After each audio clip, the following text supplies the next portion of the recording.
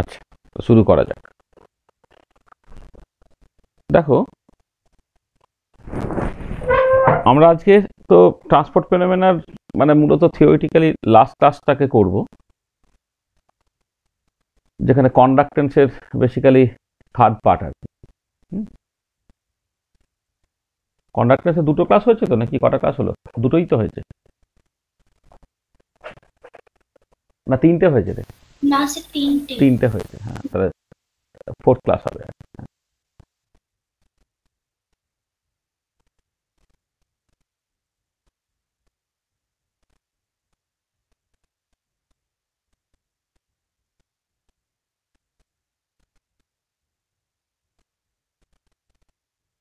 Lecture eight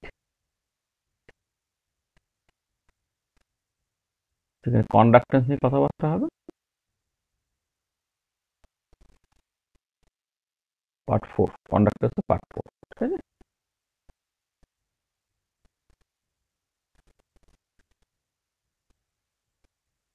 তারিখ হচ্ছে তোমার তেরো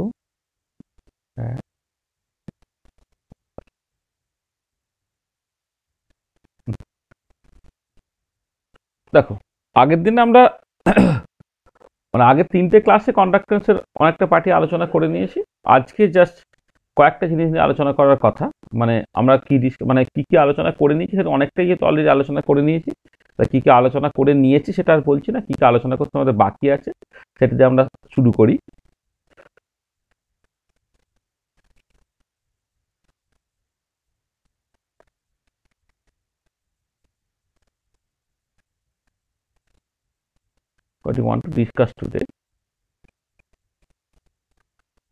আচ্ছা তাতে আমি মানে মূলত যেটা করব সেটা হচ্ছে কন্ডাক্টোমেট্রিক মানে মানে মূলত যেটা করব যে অ্যাপ্লিকেশনসগুলো করব। কন্ডাক্টোমেট্রির অ্যাপ্লিকেশনসগুলো সেগুলি আমাদের মেন আলোচনার বিষয় হবে। এছাড়া বলেছিলাম আরও দু একটা ছোটোখাটো জিনিস আছে, যে জিনিসগুলো একটুখানি আলোচনা করে নিলে ভালো হয়। যেমন টেম্পারেচার ডিপেন্ডেন্স অফ কন্ডাক্টেন্স সেটা নিয়ে একটু আলোচনা করার দরকার আছে। ওয়াইন এফেক্ট নিয়ে কথাবার্তা বলব ডিবাই ফালকেন এফেক্ট নিয়ে কথাবার্তা বলব, সেই জিনিসগুলো আছে। কিন্তু আমি প্রথমে মূলত ওই জায়গাগুলো আগে বলে নিই যে আচ্ছা ঠিক আছে, এইগুলি, এই যেগুলো ছোটোখাটো বাকি সেগুলি একটু আগে বলে নিই অ্যাপ্লিকেশনগুলো না পরে বলছি তাহলে প্রথম যে জিনিসটা আলোচনা করতে হবে সেটা হচ্ছে temperature dependent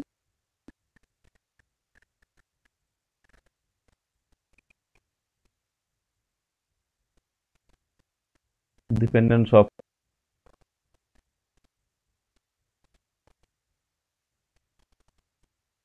ionic conductors and equivalent conductors.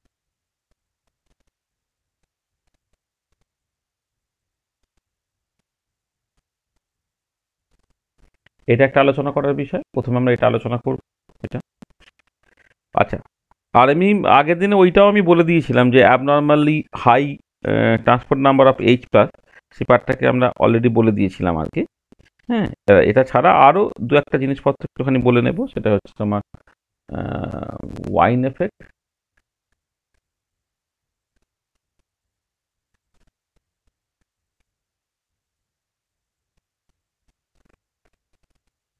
Debye Falkenhagen effect তারপরে চলে আসবে কন্ডাক্টোমেট্রি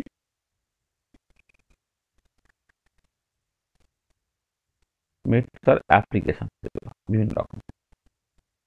তার মধ্যে কন্ডাক্টোমেট্রি টাইটেশনটা পড়বে অ্যাপ্লিকেশন হ্যাঁ? অ্যাপ্লিকেশনসের মধ্যে তোমার কন্ডাক্টোমেট্রি টাইটেশন এই পার্টটা তোমার পড়বে। ঠিক আছে? তাহলে এইরকমভাবে আস্তে আস্তে আস্তে আস্তে জাস্ট জিনিসটাকে শুরু করা যাক। আচ্ছা। তাহলে আমরা শুরু করি। আমার কি এলো?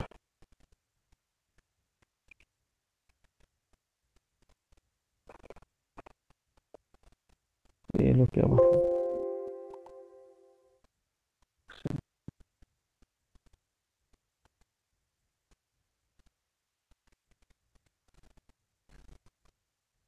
হ্যাঁ।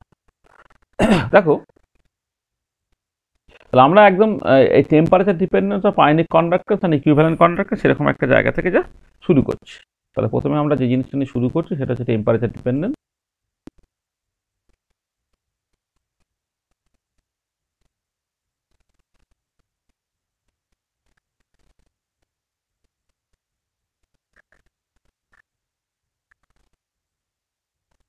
ionic conductance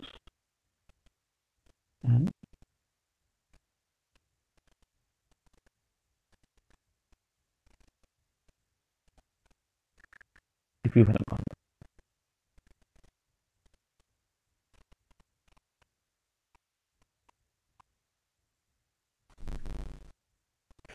আচ্ছা দেখো, এমনি থেকে এটা হয় যে আয়নিক কন্ডাক্টেন্স এবং ইকুইভ্যালেন্ট কন্ডাক্টেন্স সেইটা এরকম একটা রিলেশন ওবে করে মানে ধরো, অবশ্যই একটা ইনফাইনাইট ডাইলিউশনে সবটাই করবে একটা ইনফাইনাইট ডাইলিউশনে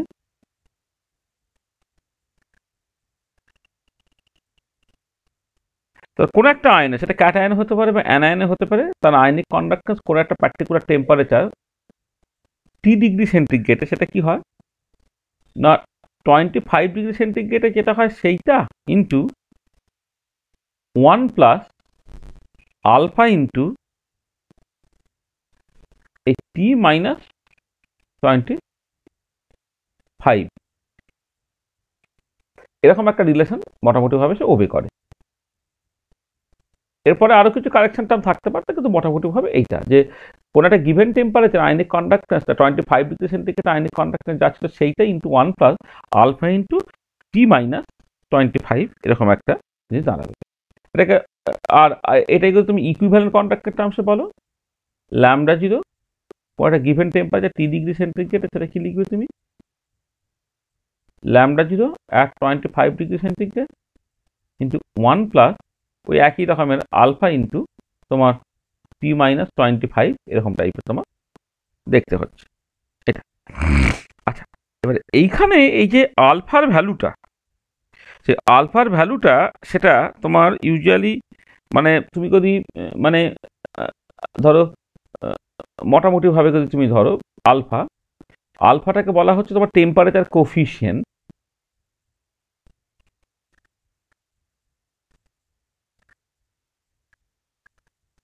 কোফিশিয়েন্ট এই আলফা ভ্যালুটা মোটামুটিভাবে zero point zero one eight থেকে zero point zero two two এটা হচ্ছে ইউজুয়াল রেঞ্জটা আলফার ইউজুয়াল রেঞ্জটা zero point zero one eight থেকে zero point zero two two এরকম একটা রেঞ্জে হয়। সেটা বোথ তোমার ইকুইভ্যালেন্ট কন্ডাক্টেন্সকে যখন তুমি লিখছো এবং আইনি কন্ডাক্টেন্স যখন লিখছো দুজনের ক্ষেত্রেই কিন্তু সেই সিচুয়েশনটা হচ্ছে।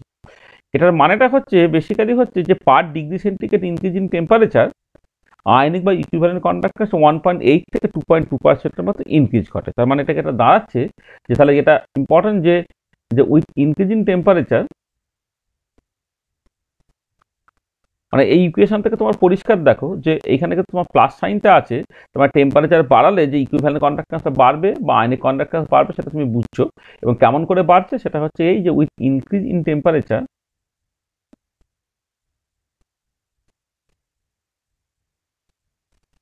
temperature L0 as well as lambda 0 increase এটা বুঝলাম আর per one degree centigrade increase in temperature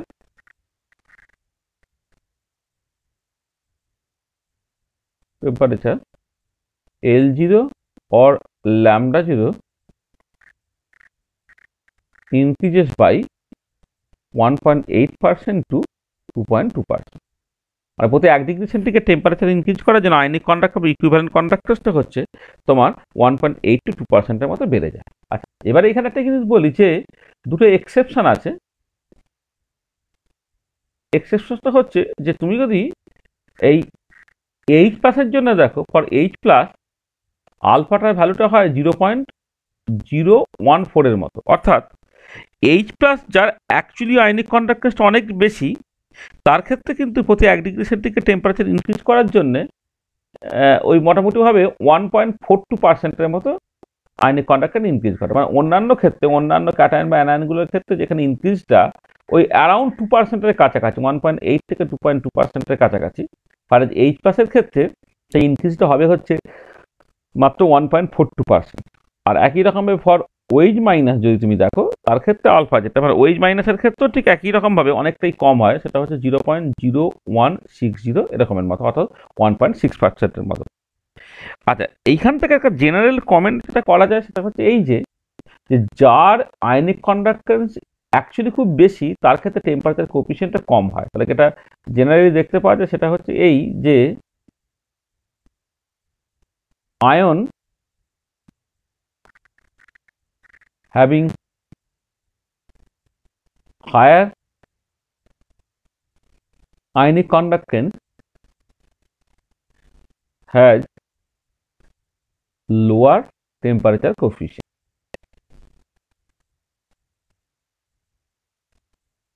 মানে ধরো প্রতি এক ডিগ্রি সেন্টিগ্রেড টেম্পারেচার ইনক্রিজ করার জন্য এন এ প্লাসের ক্ষেত্রে আয়নিক কন্ডাক্টেন্স যত বাড়বে এইচ প্লাসের ক্ষেত্রে কিন্তু আয়নিক কন্ডাক্টেন্সটা তোমার অতটা বাড়বে না এটা মাথায় রাখতে হবে। আচ্ছা এবং এইটা একটা ইম্পর্টেন্ট ফেনোমেনান দিয়ে তুমি বুঝতে পারবে। সেটা হচ্ছে এই যে, ধরো তুমি এই এইচ সিএলকে এক্সাম্পল হিসেবে না ধরো এইচ সিএল এইচ সিএল থেকে তুমি যে দুটো আয়ন পাচ্ছ, তারা কারা কারা? এইচ প্লাস এবং সিএল মাইনাস দুটো আয়ন পেলে। আচ্ছা এর একটা ট্রান্সপোর্ট নাম্বার আছে, ধর টি অফ এইচ প্লাস এর একটা ট্রান্সপোর্ট নাম্বার আছে, ধর টি অফ সিএল মাইনাস তাই দেখতে পাওয়া যায় যে at ordinary temperature, আমি আগেই দেখেছিলাম যে যেহেতু এইচ প্লাসের আয়নিক কন্ডাক্টরটা সেল মাইনাসের থেকে অনেক অনেক বেশি কিন্তু অর্ডিনারি টেম্পারেচারে transfer number of H plus must be greater than transfer number of CL minus এটা আচ্ছা এবারে যখন আমি টেম্পারেচার বাড়াচ্ছি উইথ increase in temperature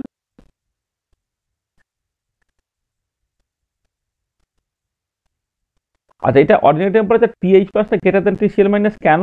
তার কারণটা হচ্ছে as ionic conductor of H plus at infinite ডাইলিউশনে সেটা greater than ionic conductor of CL minus এইটার জন্য, ঠিক আছে? এবার with increase in temperature ionic conductance of both H plus and Cl minus increase but rate of increase for H plus is less than than that of Cl minus এই যে বলেছি যে দেখা যায় যে যার ক্ষেত্রে তোমার আয়নিক কন্ডাক্টর বেশি হয়, তার ক্ষেত্রে টেম্পারেচার কোপিশনটা কম হয়। অর্থাৎ এইচ প্লাসের তো আয়নিক কন্ডাক্টর বেশি, সেখানে এইচ প্লাসের ক্ষেত্রে টেম্পারেচার বাড়ালে তার রেটটা অনেক মানে সে স্লোলি বাড়বে আর সিএল মাইনাস হচ্ছে খুব র্যাপিডলি বাড়বে। তাহলে একটা কোয়াইট হাই টেম্পারেচার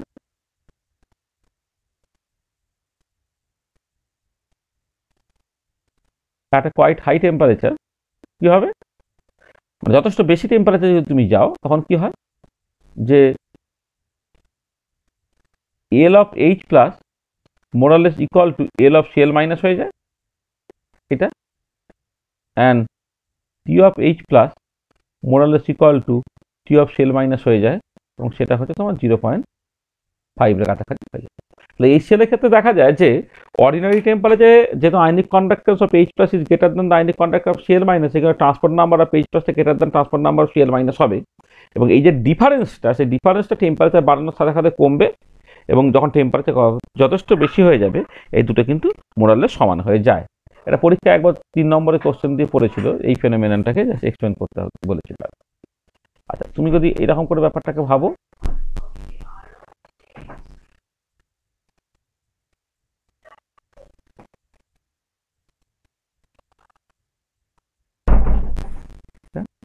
ধরো, এদিকে টেম্পারেচার প্লট করছ, এদিকে T plus or T minus দুখানে যোগফল ওয়ান হবে, আমি ওয়ানে একটা প্যারালাল লাইন টেনে দিচ্ছি ওয়ান টি প্লাসটা বেশি এটা হচ্ছে তোমার টি অফ মানে এইচ প্লাস আর কি টি প্লাস টি মাইনাসটা কম, এটা ধরো টি মাইনাস এবারে এই ট্রান্সফার নাম্বার অফ এইটা তোমার বেসিক্যালি কমছে আসতে সরি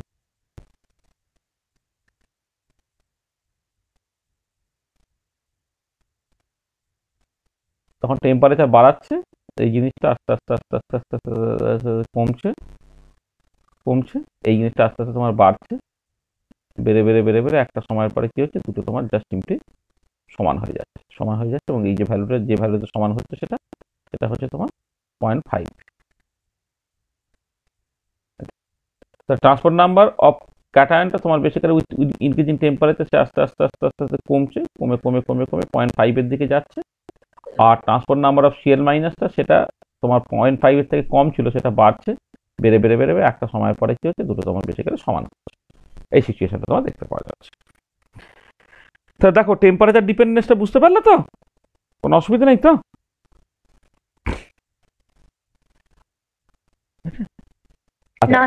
আচ্ছা এবারে একটুখানি জাস্ট বোঝার চেষ্টা করতে পারো যে এটা কেন হচ্ছে। আচ্ছা কেন হচ্ছে তার দু রকমের এক্সপ্লেনেশন আছে। একটা হচ্ছে যে তোমার তুমি যখন ওই আরিনিয়াস ইকুয়েশন পড়েছিলে তখন তুমি দেখবে যে ধরো কন্ডাক্ট করতে গেলে এখানেও অ্যাজিব যেন একটা অ্যাক্টিভেশন বেরিয়ার ক্রস করতে হচ্ছে। এবার যার ক্ষেত্রে অ্যাক্টিভেশন বেরিয়ারটা বেশি হয় তার ক্ষেত্রে এমনিতে আইনি কন্ডাক্টার্স কম হয়। আর যার অ্যাক্টিভেশন বেরিয়ারটা বেশি হয়, প্রতি এক ডিগ্রি সেন্টিগ্রেড টেম্পারেচার ইনক্রিজ করার জন্য তার ক্ষেত্রে রেট অফ ইনক্রিজটাও বেশি হয়। তুমি দেখবে ওখানে আমরা করেছিলাম যে দুটো রিয়াকশন তুমি কনসিডার করেছ? যে দুটো রিয়াকশনে অ্যাক্টিভেশন এনার্জি ই ওয়ান এবং ই টু যেখানে E one greater than E two এবার দুজনের ক্ষেত্রে একই রকমের টেম্পারেচার ইনক্রিজ করা হলো কার ক্ষেত্রে পার্সেন্টেজ অফ ইনক্রিজ বেশি হবে? সবসময় অ্যাক্টিভেশন এনার্জি যার বেশি, তার ক্ষেত্রে পার্সেন্টেজ অফ ইনক্রিজটা বেশি হয়। আর অ্যাক্টিভেশন এনার্জি যার বেশি, তার আইনিক কন্ডাক্টার নর্মালি কম হবে, সেখানে যার আইনিক কন্ডাক্টার কম তার অ্যাক্টিভেশন এনার্জি বেশি, তার ক্ষেত্রে পার্সেন্টেজ অফ ইনক্রিজটা হচ্ছে অনেক বেশি হবে, ঠিক আছে?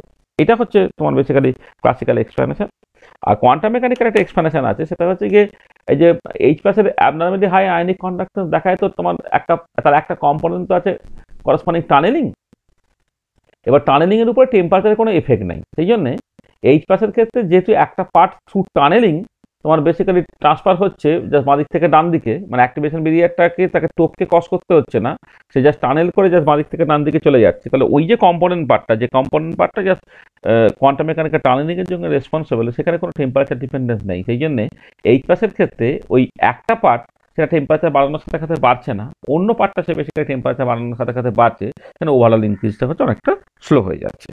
ঠিক আছে? এটা তাহলে এই হচ্ছে তোমার বেসিক্যালি টেম্পারেচার ডিপেন্ডেন্ট আচ্ছা নেক্সট একটা জিনিস আমরা আলোচনা করছি, সেটা হচ্ছে ওয়াইন এফেক্ট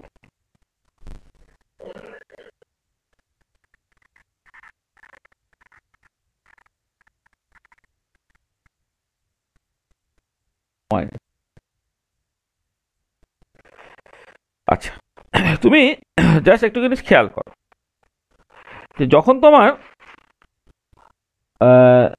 মানে একটা স্ট্রং ইলেকট্রোলাইটিক সলিউশনের ক্ষেত্রে যখন আমি দেখেছিলাম স্ট্রং ইলেকট্রাইটিক সলিউশনের ক্ষেত্রে কনসেন্ট্রেশন যথেষ্ট বেশি হলে আয়নিক মোবিলিটি আজ আয়নিক কন্ডাক্টেশন কম দেখাচ্ছিল।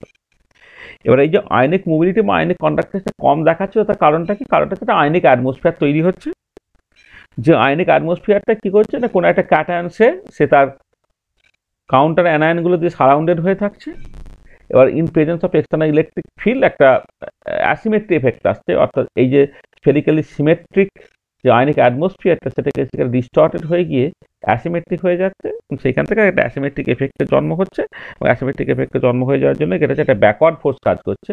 ব্যাকওয়ার্ড ফোর্স কাজ করলে হচ্ছে তোমার তোমার যেটা দাঁড়াবে যে আইনিক মোবিলিটি যা হওয়ার কথা তার তুলনায় কমে যাচ্ছে বা আইনিক কন্ট্রাক্টে যা হওয়ার কথা তার তুলনায় কমে যাচ্ছে। সেখানে তুমি একটুখানি লোয়ার আইনিক মোবিলিটি বা আইনিক কন্ডাক্টর পাও এবার যখন টেম্পারেচার যখন কনসেন্ট্রেশন আস্তে আস্তে কমানো হয়, এবং তখন ওই আয়নিক অ্যাটমসফিয়ারটা আস্তে আস্তে আস্তে ডিফিউজ হচ্ছে। এবারে যদি কনসেন্ট্রেশন যথেষ্ট কম হয়ে যায়, যাতে করে আয়নিক অ্যাটমসফিয়ার আর এক্সিস্ট করছে না, তখন আয়নিক মোবিলিটি তার ম্যাক্সিমাম লিমিটিং ভ্যালুতে পৌঁছে যাচ্ছে। অ্যাজ ওয়েল এজ আয়নিক কন্ডাক্টেন্সটা তার ম্যাক্সিমাম লিমিটিং ভ্যালুতে পৌঁছে যাচ্ছে। যেটা হচ্ছে বেসিক্যালি আয়নিক কন্ডাক্টর তার ইনফাইনাইট ডাইলিউশন আর এবারে দেখতে পাওয়া যায় যে যদি দুটো ইলেকট্রনের মধ্যে পোটেনশিয়াল গ্রেডিয়েন্টটা তুমি এক্সট্রিমলি হাই করে দাও না? তাহলে যেটা দাঁড়াবে যে এই সেন্ট্রাল আয়নটা কোনো একটা ইলেকট্রন থেকে এত কুইকলি মুভ করে যাবে যে সে বেসিক্যালি তোমার ওই আয়নিক অ্যাটমসফিয়ারের এফেক্টটাকে জাস্ট ফিলই করতে পারবে না, অর্থাৎ অ্যাসিমেট্রিক এফেক্টটা সে বেসিক্যালি ফিলই করতে পারবে না। তখনও আবার তার ionic mobility as well as ionic conductor তার ম্যাক্সিমাম লিমিটিং ভ্যালুতে পৌঁছে যায়। এই যে এফেক্টটা সেই এফেক্টটাই বলা হবে তোমার ওয়াইন এফেক্ট মানে তোমার সেন্ট্রাল আয়নটা সে স্লোলি কোনো একটা ইলেকট্রনের দিকে মুভ করছে। আয়নিক অ্যাটমসফিয়ারটা তার সঙ্গে জাস্ট পাল্লা দিয়ে চলতে পারছে না, একটুখানি ল্যাগ বিহাইন্ড করছে। অর্থাৎ পিছনে আয়নিক অ্যাটমসফিয়ার থেকে জমে গেল। আয়নিক অ্যাটমসফিয়ারে জমে যাওয়ার জন্য সেটা ব্যাকওয়ার্ড ফোর্স দিচ্ছে। কিন্তু যদি এরকম হয়ে যায় জাস্ট নিমেষের মধ্যেই এত বেশি পোটেন্সিয়াল গ্রেডিয়েন্ট দিকে সেন্ট্রাল আয়নটা নিমেষের মধ্যে আয়নিক অ্যাটমসফিয়ার জাস্ট ক্রস করে বেরিয়ে গেল। দেখবে এটা হয়, যখন সেলিব্রিটিদেরকে তোমরা মব করে থাকো, তখন তাকে যদি বাস মানে তাকে যদি মানে ফ্লাইট ধরতে হয় বা কোনো একটা গাড়ি ধরতে হয়, সে দেখবে ওই ওই মানে ধীরে ধীরে টুকটুক করে গেলে কিন্তু হবে না, খুব কুইকলি চলে যায় ওই জায়গাটা। খুব কুইকলি চলে গেলে যেটা দাঁড়াবে? সেটা সবসময় দেখতে পাবে বা কোনো একজন ধরো ফরওয়ার্ড যে ফুটবল খেলায়, সে বেসিক্যালি তাকে কতগুলো ডিফেন্ডার ঘিরে ফেলেছে। তাকে ডিফেন্ডার ঘিরে যদি ফেলে, তাহলে সে অবভিয়াসলি যে স্পিডে সামনের দিকে বল নিয়ে এগোতে পারতো, সেই নিয়ে এগোবে না। এ ট্যাকেল করবে, ও ট্যাকেল করবে, সেই ট্যাকেল করবে। একটা ব্যাকওয়ার্ড পোস্ট কাজ করছে।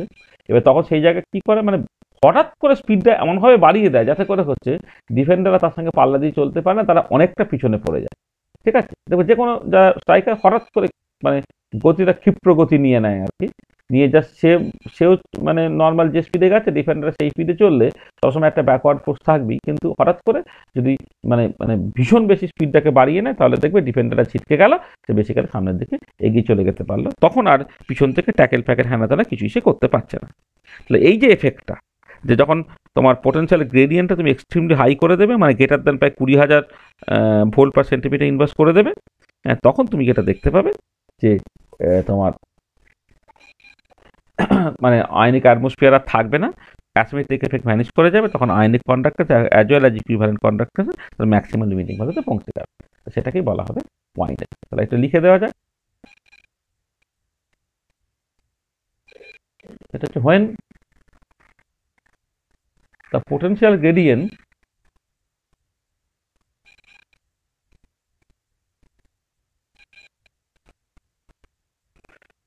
between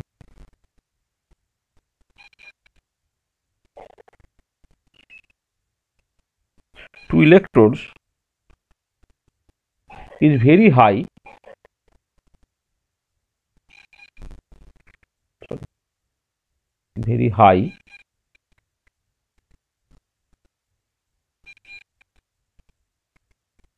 high high মানে কতটা? না মোটামুটি ভাবে greater than twenty thousand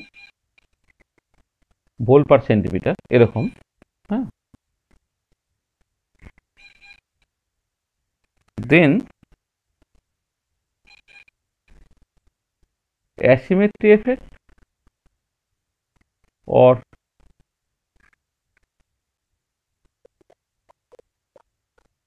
relaxation effect vanishes এটা the ionic mobility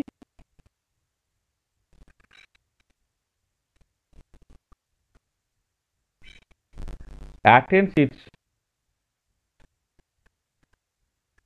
maximum limiting value and hence ionic conductance ionic conductance বা equivalent conductance বলতে পারো ionic conductance or equivalent conductance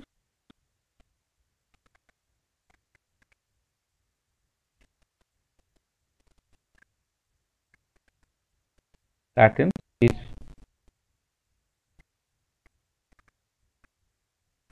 maximum value lambda 0 lambda 0 মানে basically equivalent conductor dilution infinite dilution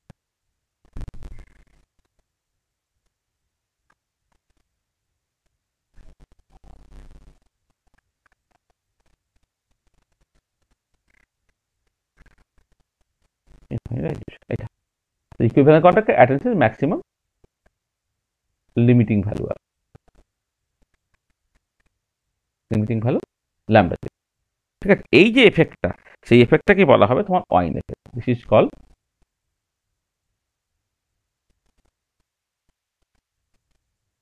Wien তো বোঝা গেল যে potential গ্রেডিয়েন্টটা প্রচণ্ড বেশি হয়ে গেলে, তখন অ্যাসিমেট্রিক এফেক্ট বা রিল্যাক্সেশন এফেক্ট থাকবে না। তখন তোমার ওই ইকুইভ্যালেন্ট কন্ডাক্টর তার ম্যাক্সিমাম লিমিটিং ভ্যালু কেটে দেন ল্যাম্ডা ইকুয়ালতে অ্যাটেন্ড করে যাবে। এটাকে বলা হবে তোমার ওয়াইন এফেক্ট ঠিক আছে তো? ওয়াইন এফেক্টটা ঠিক আছে তো? আচ্ছা আর একটা এফেক্ট হচ্ছে একে বলা হয় Debye Falkenhagen effect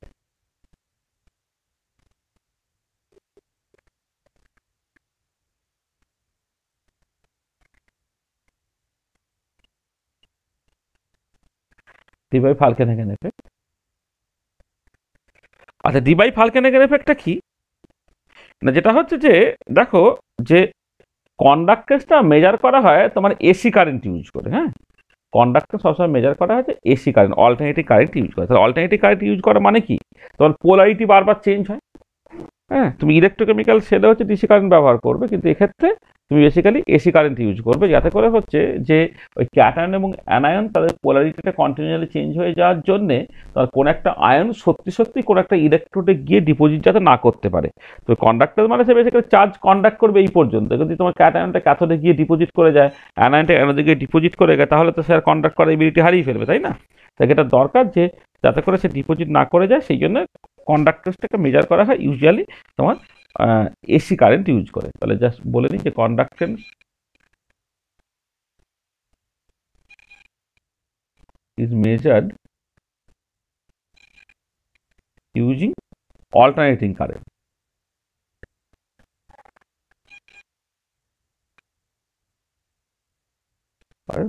AC AC use করে হয়। আর এবারে মানে এসি কারেন্ট ইউজ করা মানে ক্যাথোড এবং অ্যানোড তাদের পোলারিটিটা কন্টিনিউয়ালি পাল্টাচ্ছে। আর এবারে যদি এমন হতো যে যে এই পোলারিটিটা খুব কুইকলি পাল্টাচ্ছে মানে ওই যে রিল্যাক্সেশন টাইম আমি দেখেছিলাম না, যে আয়নিক অ্যাটমসফিয়ারটা একটা তৈরি হয়েছে, এবারে ক্যাটায়নটা ধরো তোমার একটা সার্টেন ডিস্টেন্স সরে গেল। সরে যাওয়ার পরে হচ্ছে অ্যানায়নটা মানে সারাউন্ডিং যা, যেটাকে বেসিক্যালি আয়নিক অ্যাটমসফিয়ারটা নিজেকে অ্যাডজাস্ট করতে আর একটু সময় লাগায়। এবারে যদি এমন হয়ে যায় যে এই যে যে সময়টা লাগছে আর কি, সেই সময়ের আগেই হচ্ছে তোমার এসি কারেন্ট তার পোলারিটিটা চেঞ্জ করে ফেলল, তখন না ওই ওই অ্যাসিমেট্রি বা রিল্যাক্সেশন এফেক্টটা সে বেসিক্যালি ফিল করতে পারবে না। মানে ব্যাপারটা হয় না, দেখবে একজন স্ট্রাইকার সেই যদি একদম স্ট্রেট বল নিয়ে যায়, তাকে কিন্তু ট্যাকেল করে সহজে আটকে ফেলা যায়। যে স্ট্রাইকার সে দেখবে জিগজাগ হইতে যায় ডান দিক বান দিক ডান দিক বান করে যায় যাতে করে হচ্ছে তার সঙ্গে পাল্লা দিয়ে তোমার বেসিক্যালি ডিফেন্ডাররাও জিগজাগ করতে পারে না বলে সে বেসিক্যালি ছিটকে পড়ে। ঠিক আছে? তাহলে এই জিনিসটা হচ্ছে যে তোমার ক্যাটায়নটা ধরো কোনো একটা ক্যাথোডের দিকে যাচ্ছে। ক্যাটায়নটা সে বেসিক্যালি একদম জাস্ট মানে মানে একদম লিনিয়ারলি যাচ্ছে, এইভাবে না করে যদি এমন হতো যে সামনে পিছনে সামনে পিছনে সামনে পিছনে করে গেছে জিগজ্যাগ ওয়েতে যাচ্ছে, তখন তার যে করসপন্ডিং আয়নিক অ্যাটমসফিয়ারটা যে ক্যাটায়নটা বাঁদিক থেকে ডান দিকে গেল হ্যাঁ তার পরবর্তী ডান দিক থেকে বাঁদিকে আসছে এবার আয়নিক অ্যাটমসফিয়ারটা যখন ক্যাটায়নটা সরে গেল, তার মতো করে অ্যাডজাস্ট করে গেল আবার যখন বাঁদিকে চলে এলো, তার মধ্যে অ্যাডজাস্ট করে ফেলে, তার জন্য একটু সময়টা লাগে? তার আগেই যদি এরকম হয়ে যায় যে তোমার এসি কারেন্টের পোলারিটিটা চেঞ্জ হয়ে যাচ্ছে, অর্থাৎ ক্যাটায়ন এবং ক্যাটায়নটা বা সেন্ট্রাল আয়নটা সে বেসিক্যালি হচ্ছে ডান দিক বান্দি ডান দিক বান্দি করতে থাকে আর কি, তখন ওই অ্যাসিমেট্রি বা রিল্যাক্সেশন এফেক্ট সেইটা আবার ভ্যানিশ করে যাবে। সেইটাকে বলা হবে তোমার Debye Falkenhagen effect the conductance is measured using alternative current AC এমন হতো যে if frequency of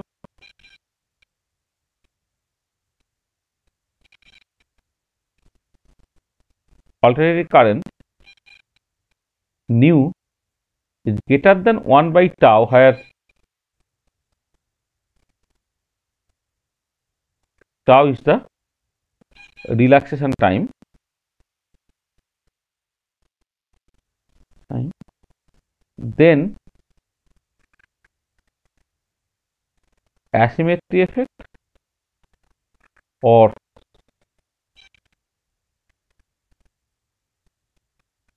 relaxation effect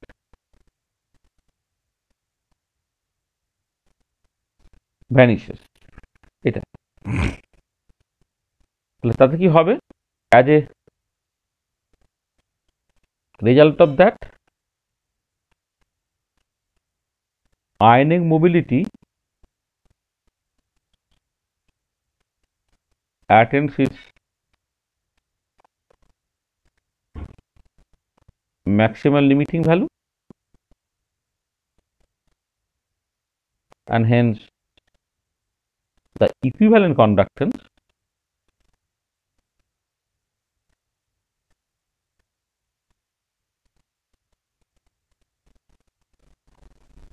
reactance is maximal limiting value lambda 0 value lambda 0 ঠিক this effect is called the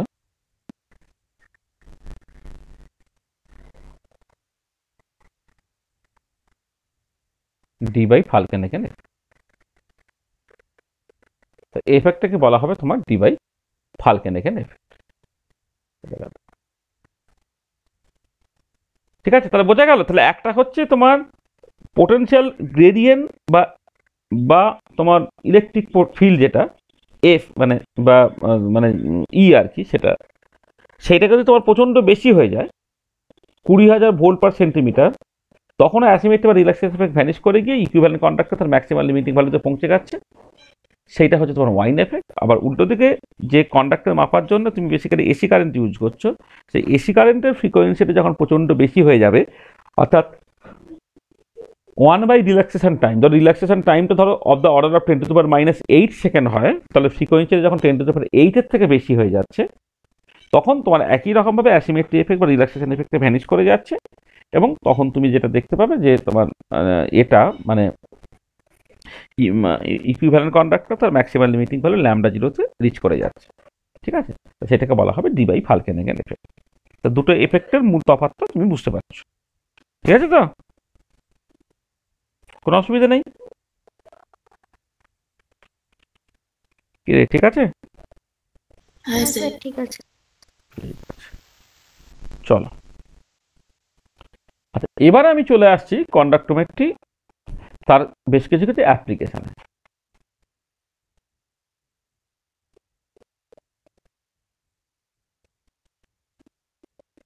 application of কন্ডাক্টোমেট্রি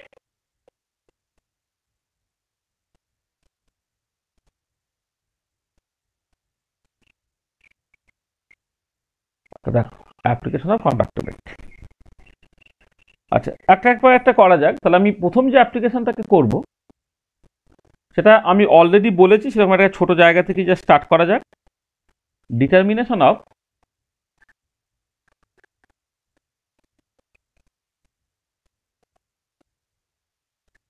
degree of dissociation alpha আর কি of weak electrolyte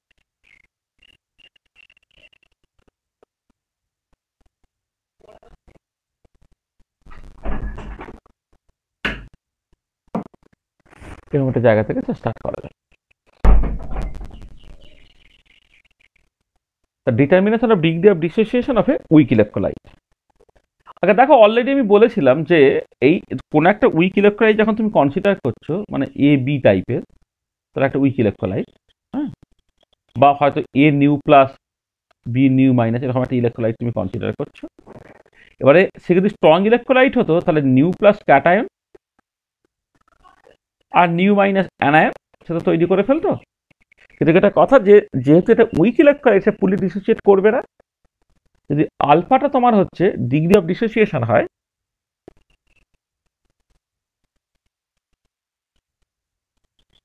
dissociation হয়, তাহলে কি হয় না অ্যাট ইকুইলিব্রিয়ামে এই আনডিসোসিয়েটেড যে ইলেকট্রোলাইট সেটা থাকবে কত? C into one minus alpha এটা থাকবে আলফা সি এটা তোমার আলফা সি এটা। আর এবার এই বাঁদিকে যে আছে, সে তার কন্ডাক্টর সাথে একপার্ট করছে না? কন্ডাক্টর সাথে একপার্ট করছে কে বেসিক্যালি না বেসিক্যালি হচ্ছে এই ক্যাটায়ন এবং অ্যানায়ন এরা। ঠিক আছে? আচ্ছা এবারে দেখো তোমার যে যদি এরা ফুললি ডিসোসিয়েট করে যেত এবং যেটা ইনফাইনাইট ডাইলিউশনে হয়, তখন সে অনেক বেশি ইকুইভ্যালেন্ট কন্ডাক্টর দেখাতো সেটা হচ্ছে ল্যামডা জিরো আর এক্সপেরিমেন্টাল কন্ডিশনে যদি তার ডিগ্রি অফ ডিসোসিয়েশন আলফা হয়, যেটা অ্যাকচুয়ালি একের থেকে কম তখন সে যে ইকুইভ্যালেন্ট কন্ডাক্টর দেখাবে সেটা হচ্ছে ল্যামডা তাহলে কিন্তু এমনও হতে যে if lambda v the equivalent conductance conductance of the electrolyte at the experimental condition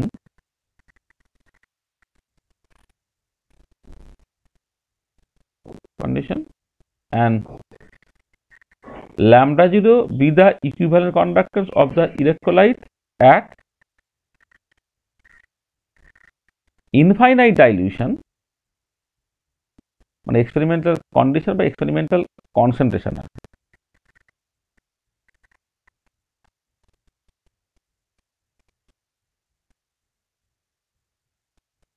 concentration এটা হচ্ছে তোমার ইনফাইনাইট ডাইলিউশন এইটা দেন আলফাটা কি হয়? না, আমি বলেছিলাম ল্যামডা বাই ল্যামডা জিরো। আচ্ছা ল্যামডা জিরোটাকে তুমি পেয়ে যাবে কি করে?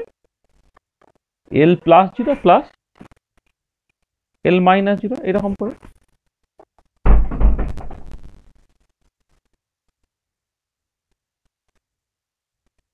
তাহলে তোমাকে জাস্ট যেটা করতে হবে, যে equivalent conductance at the experimental condition এইটুকু তোমাকে জাস্ট মেজার করতে হবে।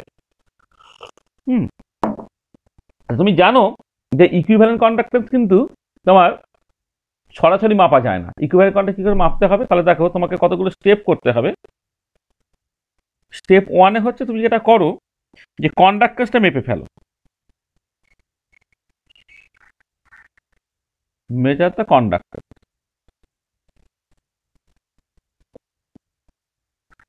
এটা মেপে ফেলো আচ্ছা step two mega the cell constant cell constant মাপাও শিখিয়েছি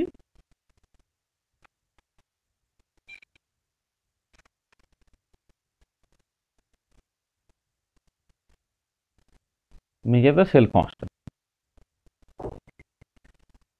small a এটা। আচ্ছা এবারে এবারে তুমি জাস্ট যেটা করো নেক্সট যে স্টেপ থ্রিতে ক্যালকুলেট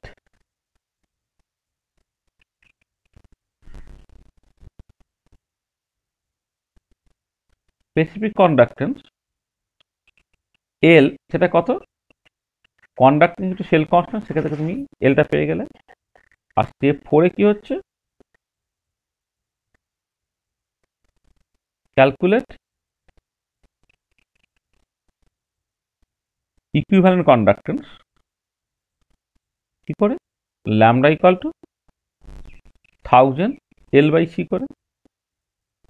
ঠিক আছে? তাহলে দেখো, তুমি ল্যামডাটা আলটিমেটলি পেয়ে গেলে। এটা আর স্টেপ ফাইভে যেটা তোমার হচ্ছে যে, এই L plus zero and L minus zero have been supplied supplied and you may incorporate the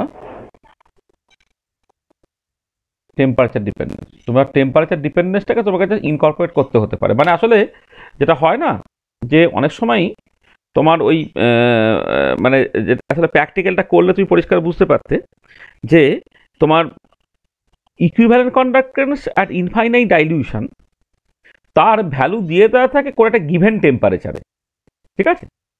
আর এবারে মাস্টারমশাই তোমার যদি এক্সপেরিমেন্টাল টেম্পারেচারে এই আইনিক কন্ডাক্টেন্সের ভ্যালুগুলো সাপ্লাই করে দেয় তো ভালো। যদি সাপ্লাই না করে দেয়, যেটা ইউজুয়ালি করতে হয়, সেটা হচ্ছে এই যে যে এই টোয়েন্টি ফাইভ ডিগ্রি সেন্টিগ্রেডে বা কখনো কখনো টোয়েন্টি ডিগ্রি সেন্টিগ্রেডে ionic conductor of cation অ্যানাইটা infinite dilution তোমার বলে দেওয়া থাকে। আর তার সাথে যেটা থাকে, এরকম একটা ইকুয়েশন দিয়ে দেওয়া থাকে। দেখো, এই যে এই যে ইকুয়েশনগুলো আছে না, এই যে এই টাইপের না, কিছু ইকুয়েশন দিয়ে দেওয়া থাকে। সেই ইকুয়েশানে আলফার ভ্যালুটা জাস্ট এখানে জাস্ট সিম্বাল হিসেবে না দিয়ে আলফার ভ্যালুটা বসিয়ে দেওয়া থাকে। ঠিক আছে? তাহলে এই পার্টিকুলার ফর্মুলাতে তোমার এক্সপেরিমেন্টাল টেম্পারেচারটাকে বসিয়ে দিল, দিয়েও তুমি হচ্ছে এই এল জিরোটাকে জাস্ট বের করে ফেলতে পারো। সেই জন্যে তোমার অনেক ক্ষেত্রে যেটা হবে যে তোমাকে একটা মানে একটা একটা ফর্মুলা বলে দেওয়া থাকবে। যেখানে অ্যাকচুয়ালি যে ক্যাটায়ন বা অ্যানায়নটা এখানে উইক ইলেকট্রোলাইটের ক্ষেত্রে ইনভলভ হয়েছে, তাদের অ্যাসিডিক অ্যাসিড হলে এইচ প্লাস এবং অ্যাসিডেট আয়ন আর কি। তাদের আয়নিক কন্ডাক্টেন্সের ভ্যালু কোনো একটা গিভেন টেম্পারেচারে ইউজুয়ালি পঁচিশ ডিগ্রি সেন্টিগ্রেডে কখনো কখনো কুড়ি ডিগ্রি সেন্টিগ্রেডে সাপ্লাই করে দেওয়া থাকে। With the value of the temperature coefficient সেখান থেকে ক্যালকুলেট করে তুমি L plus zero L minus zero তুমি পেয়ে গেলো। হুম। এইটা। তার মানে তার মানে মানে হেন্স মানে এইটা এইটা সাপ্লাই করে দেওয়া আছে অ্যান্ড হেন্স উই গেট আমি ল্যামডা জিরো এখন পেয়ে যাচ্ছি, যেটা হচ্ছে L plus zero plus L minus zero আর ফাইনালি স্টেপ সিক্সে আলফাটা হচ্ছে তোমার ল্যামডা বাই ল্যামডা জিরো এই ফর্মুলা ইউজ করে তুমি আলফাটাকে বের করে ফেলতে পারো। তা তোমাকে যদি যে অ্যাসিটিক অ্যাসিড দিয়ে দেওয়া হয়, তাহলে অ্যাসিটিক অ্যাসিডের ক্ষেত্রে তুমি ডিগ্রি অফ ডিসোসিয়েশন ক্যালকুলেট করে ফেলতে পারবে। এবার অ্যাসিটিক অ্যাসিডের কোন কনসেন্ট্রেশনে ডিগ্রি অফ ডিসোসিয়েশন বের করতে হবে, সেই কনসেন্ট্রেশন অ্যাসিটিক অ্যাসিড তুমি বানিয়ে নেবে? এবং সেই কনসেন্ট্রেশন অ্যাসিটিক অ্যাসিড তোমার অনেক রকম করে বানানো যায় কন্ডাক্টিভিটি টাইট্রেশন করে তুমি স্ট্রেনটাকে বের করে নিতে পারো। তোমার অ্যাসিটিক অ্যাসিড মানে পিএইচ মেট্রিক টাইট্রেশন করে তুমি বের করে নিতে পারো। নর্মালি এনওই দিয়ে ফেরত তাহলে ইন্ডিকেটার দিয়ে টাইট্রেট করে তুমি বের করে ফেলতে পারো। অনেক হাজার একটা রাস্তা আছে অ্যাসিটিক অ্যাসিডের এক্সাক্ট কনসেন্ট্রেশন বের করা এবার সেই কনসেন্ট্রেশন অ্যাসিডিক অ্যাসিড সলিউশন তুমি নিলে, তার কন্ডাক্টার তুমি মাপলে, মেপে সেইখান থেকে তার আলটিমেটলি ইকুইভ্যালেন্ট কন্ডাক্টারটা গিয়ে পৌঁছালে। আর এইচ প্লাস এবং অ্যাসিটেটাইন তার যে আয়নিক কন্ডাক্টার তার ইনফাইনাইট ডাইলিউশন তার ভ্যালুটা বলে দেওয়া আছে এবং তার টেম্পারেচার ডিপেন্ডেন্স থেকে তুমি জাস্ট বেসিক্যালি ল্যামডা জিরো পেয়ে যাচ্ছে আর ল্যামডা বাই ল্যামডা জিরো থেকে তুমি degree of dissociation of the acetic acid পেয়ে যাচ্ছ। ঠিক আছে? পরিষ্কার ব্যাপারটা? হচ্ছে? আচ্ছা আচ্ছা এবারে নেক্সট যেটা আমি করব সেটা হচ্ছে যে একটা যেটা তোমাদের প্র্যাকটিক্যাল আছে যেটা উইক অ্যাসিডের তোমার আয়নাইজেশন কনস্ট্যান্টটা তুমি বের করতে চাইছো। নেক্সট দু নম্বর যে অ্যাপ্লিকেশন সেটা হচ্ছে determination of ionization constant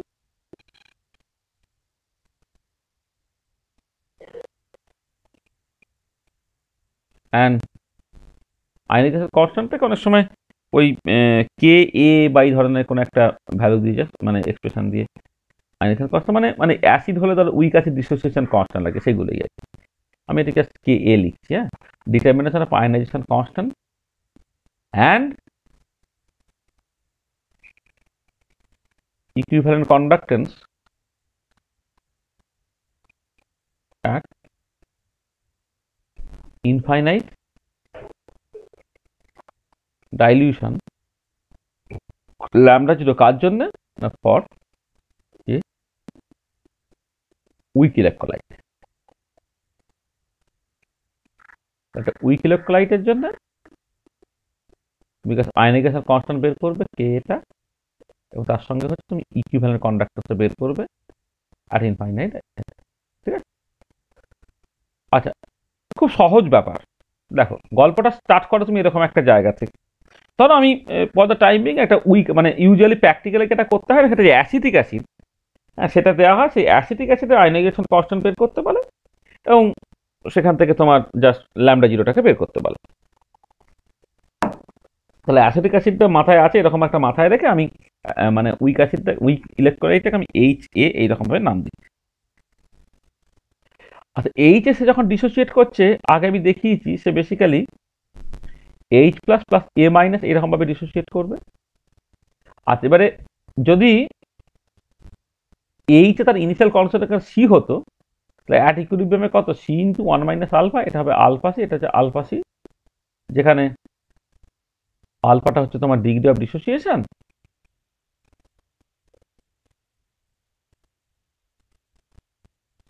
dissociation আর সিটা হচ্ছে তোমার basically concentration degree of dissociation আর সেটা হচ্ছে কনসেন্ট্রেশন অ্যাট মানে কনসেন্ট্রেশন মানে অ্যাট জিরো মানে হচ্ছে মানে ইনিশিয়ালি আর কি। Concentration of H A to zero এটা তো ভালো। আচ্ছা এবারে দেখো, তোমার আয়নাইজেশন কনস্ট্যান্টটা তুমি কেমন করে লিখবে?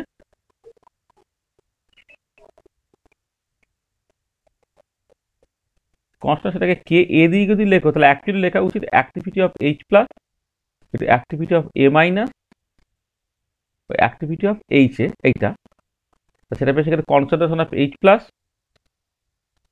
by C zero into activity coefficient of H plus concentration of A minus by C0 the activity coefficient of A minus by concentration of HA by C0 the activity of activity coefficient of এটা আচ্ছা এবারে এইটাকে তুমি approximately লিখে দাও।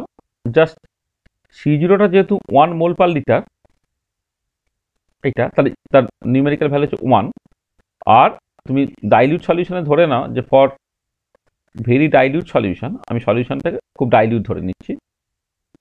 Dilute solution activity coefficient of H plus activity coefficient of A minus R activity coefficient of H A সবগুলোকে তুমি one বলে দাও। তাহলে কি দাঁড়াচ্ছে এটা? Concentration of H plus into concentration of A minus by concentration of H A এরকমভাবেই just simply লিখে দেওয়াটা হচ্ছে। এটা। আচ্ছা এবারে এইটা হবে কত? কনসেন্ট্রেশন অফ এইচ প্লাস হচ্ছে alpha into C concentration of A মাইনাসটা হচ্ছে আলফা ইন্টু সি আর কনসেন্ট্রেশন অফ এইচ এ যেটা, সেটা হচ্ছে C into one minus alpha এটা। ঠিক আছে? এরকম দাঁড়াল। তাহলে তোমার একটা সি কেটে চলে যাচ্ছে, তাহলে alpha square C by one minus alpha এরকম একটা জায়গায় দাঁড়িয়েছে, সেটা হচ্ছে কে এটা এটা। আর এবার আমি যে কাজটাকে করছি, দেখো, যে, যেহেতু আলফাটাকে লেখা যায় ল্যামডা বাই ল্যামডা জিরো এইরকমভাবে দেন আমি এর আগেই করেছি যে ল্যামডা বাই ল্যামডা জিরো সেটা হচ্ছে আলফার সঙ্গে বেসিক্যালি সমান, এইটা দেন কে এটা তাহলে কি দাঁড়াচ্ছে?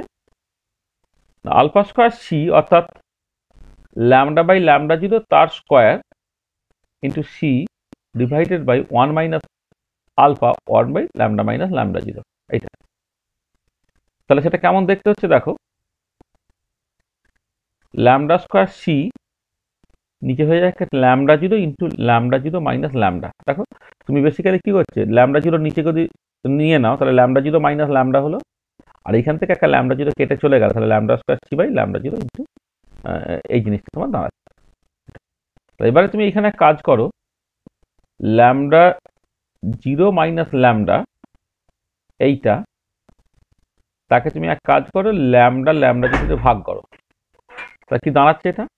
দেখো, তুমি বেসিক্যালি এই একটা ল্যামডা একটা আছে তোমার, একটা সি আছে, নিচে হচ্ছে তোমার কে এটা আছে? মানে আমি এইটাতে এদিকে নিয়ে গেলাম, ল্যামডা মাইনাস ল্যামডা জিরো। তাহলে K a into lambda zero square হবে, কারণ ল্যামডা জিরো আমি এখানে একটা এক্সট্রা ভাগ করেছি। হ্যাঁ। মানে এটা হচ্ছে ল্যামডা জিরো মাইনাস ল্যামডা, এইটা হলো, তাহলে সেইটুকু করলে হতো lambda square C by K zero into lambda zero. তাহলে উপরে আমি আর একটা হচ্ছে, এখান থেকে ল্যামডা একটা এখানে নিয়ে চলে এলাম আর একটা এখানে ল্যামডা জিরো এটা হ্যাঁ এইটা হলো এটা তাহলে অর এটা তুমি কি দাঁড়াচ্ছে দেখো, এটা one by lambda minus one by lambda zero এইটা ইকলটা দাঁড়াচ্ছে তোমার কি? না হ্যাঁ এটা এটা এটা তো ল্যামডা জিরো বাই এটা করলে ল্যামডা জিরো কেটে গেলে ওয়ান বাই ল্যামডা হলো মাইনাস হচ্ছে, তো ওয়ান বাই ল্যামডা জিরো এইটা তোমার যেটা ডান দিকে দাঁড়াচ্ছে lambda C divided by lambda zero square into K বা অর এইটাকে এইরকমভাবে লিখে নাও। One by lambda equal to one by lambda zero plus lambda C by lambda zero square into K a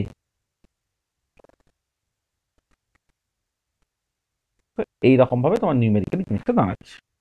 এটা আচ্ছা এবার আমি কি করব? দেখো, তুমি যদি প্লট করো one by lambda versus lambda যদি প্লট করে একটা স্ট্রেট লাইন দেবে, তাহলে if we plot one by lambda versus lambda C কি পাবো আমি? We get a straight line with intercept one by lambda zero or এখান থেকে ল্যামডা জিরোটা তুমি পেয়ে গেলে কত? ওয়ান বাই ইন্টারসেপ্ট তোমার তো একটা কাজ ছিল কি? ইকুইভ্যালেন্ট কন্ট্রাক্ট কাজ ইনফাইনাইট ডাইলিউশন তুমি বের করবে, তাহলে গ্রাফ থেকে ইকুইভ্যালেন্ট কন্ট্রাক্ট কাজ ইনফাইনাইট ডাইলিউশন তুমি পেলে কি করে? না ল্যামডা জিরো সেটা ওয়ান বাই ইন্টারসেপ্ট এটা হলো, এটা আর স্লোপটা কত হচ্ছে? One by lambda zero square into K তাহলে এখান থেকে দেখো কে এ যদি তোমাকে বের করতে হয়, তাহলে intercept square by basically slope পাবে তুমি। সেখান থেকে তুমি আইনে গেছে কনস্ট্যান্ট কেটাকে বের করে ফেলতে পারছ। মানে কেটা এদিকে চলে এলো সোপটা দিকে চলে এলো ওয়ান বাই ল্যামডা গেছে তোমার ইন্টারসেপ্ট তাহলে ইন্টারসেপ্ট স্কোয়ার বাই হচ্ছে স্লোপ সেখান থেকে তুমি ল্যামডা জিরো পেয়ে যাচ্ছ। মানে ছবিটা এখানে ফাঁকা আছে, এই জায়গাতেই লিখে দিই, আর পরের পাতায় যাব না। তুমি just one by lambda plot করছ versus lambda C straight line পাওয়া গেল এইটা, তাহলে এই ইন্টারসেপ্ট যেটা ওয়ান বাই ল্যামডা জিরো। আর যে স্লোপটা সেটা হচ্ছে তোমার one by lambda zero square into K তাহলে দেখো, তাহলে প্রিন্সিপালটা বোঝা গেল যে তুমি অ্যাকচুয়ালি যেটা করবে, সেটা হচ্ছে one by lambda versus lambda C প্লটটাকে তুমি করবে। আচ্ছা এইটা আমি আর প্রসেসটা তোমাকে পরপর করে বলছি না। মানে ল্যামডা বের করা যেটা ল্যামডা বের করা আমার অনেকগুলো স্টেপস ইনভলভ সেখানে তুমি দেখেছ। অনেকগুলো স্টেপস ইনভলভ মানে হচ্ছে তোমাকে অ্যাকচুয়ালি সেল কনস্ট্যান্ট বের করতে হবে কন্ডাক্টেন্স বের করতে হবে কন্ডাক্টর থাকা সেল কনস্ট্যান্ট গুণ করে দিয়ে স্পেসিফিক কন্ডাক্টেন্স বের করতে হবে, আবার থাউজেন্ড এল বাই সি করে তোমাকে বেসিক্যালি ইকুইভ্যালেন্ট কন্ডাক্টেন্সটাকে পেতে হবে। আর কনসেন্ট্রেশনটা তো তুমি পাচ্ছি। মানে লোকে যেটা করে সেটা হচ্ছে এরকম মানে যেটা আমাদের ল্যাবরেটরি থেকে ইনস্ট্রাকশনটা থাকে আর কি, সেটা হচ্ছে এরকম। তুমি একটা অর্গ্যালিক অ্যাসিডের সলিউশন বানিয়ে নিলে আর এক্সালিক মানে আমি আসলে দরকার অ্যাসিটিক অ্যাসিডের এক্সাক্ট স্ট্রেন্থ তোমার দরকার। আর অ্যাসিটিক অ্যাসিডের এক্সাক্ট স্ট্রেন্থ বের করতে গেলে তোমাকে কি করতে হয়, সেটা তুমি ছোটোবেলা থেকে মানে বিএসসি ফার্স্ট ইয়ার থেকেই করে আসো। সেটা হচ্ছে যে অ্যাসিটিক অ্যাসিড তো আর প্রাইমারি স্ট্যান্ডার্ড না যাকে তুমি তার ভলিউম মেপে বা ওজন করে পাবে। তোমাকে যেটা করতে হবে যে অ্যাসিটিক অ্যাসিডকে স্ট্যান্ডার্ডাইজ করতে হবে এনওইচ দিয়ে। এবার এনওইচ সেকেন্ডারি স্ট্যান্ডার্ড তাহলে এনওইচকে আবার স্ট্যান্ডার্ডাইজ করতে হবে তোমার অর্গালিক অ্যাসিড দিয়ে। তুমি অর্গালিক অ্যাসিড বানাবে, তা দিয়ে এনওইচকে স্ট্যান্ডার্ডাইজ করবে। সেই এনওইচ দিয়ে অ্যাসিটিক অ্যাসিডকে স্ট্যান্ডার্ডাইজ করবে। তাহলে তোমার একটা স্ট্যান্ডার্ড একটা অ্যাসিটিক অ্যাসিড আছে। তুমি এবারে এই যেটা করবে যে N by fifty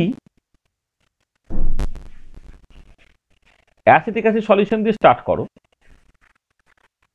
আচ্ছা এবারে এই একে বলে সাকসেসিভ ডাইলিউশন করা। মানে বেসিক্যালি কি হয়, যখন প্র্যাকটিক্যালটা করবে যে একটা বিকারের মধ্যে পঞ্চাশ M L N by fifty acetic acid তুমি নিলে তো সেখানে কন্ডাক্টিভ থেকে চোবালে, চুবি, সেখান থেকে তুমি কন্ডাক্টার ভ্যালুটাকে পেয়ে গেলে।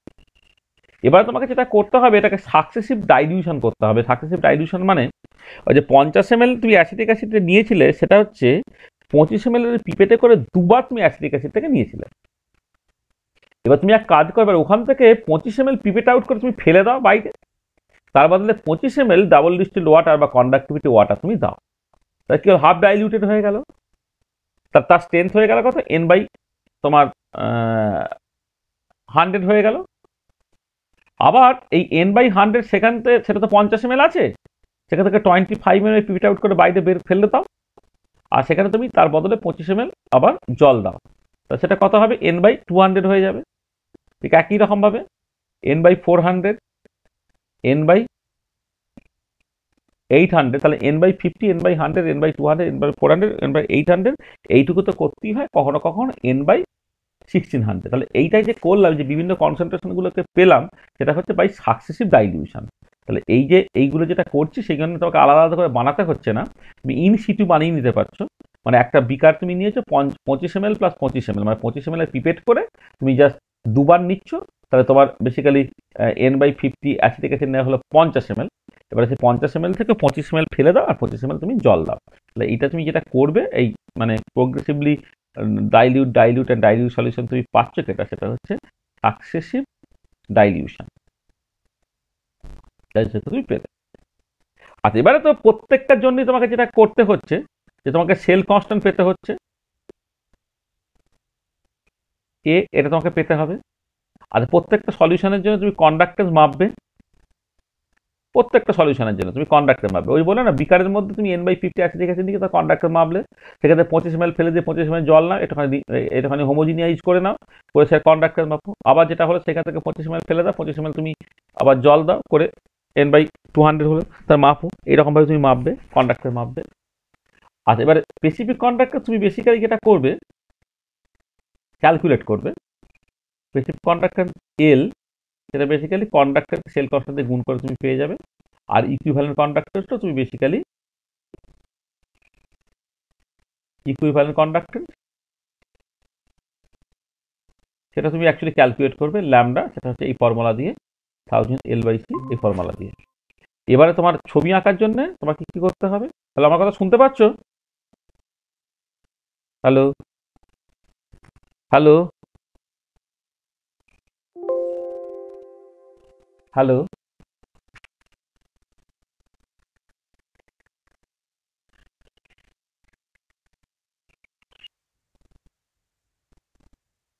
দেখো এই পর্যন্ত সবটা দেখেছিলে? হ্যাঁ স্যার ওই বলছিলেন কন্ডাক্টেন্সটা মেজার করতে হবে তারপর হ্যাঁ। তারপরে কন্ডাক্টেন্সটা মেজার করতে হবে। আচ্ছা স্পেসিফিক কন্ডাক্টেন্স এখান থেকে ক্যালকুলেট করে নেবে তুমি। কন্ডাক্টেন্স সেল কনস্ট্যান্ট বলে। ইকুইভ্যালেন্ট কন্ডাক্টেন্স ক্যালকুলেট করে নেবে।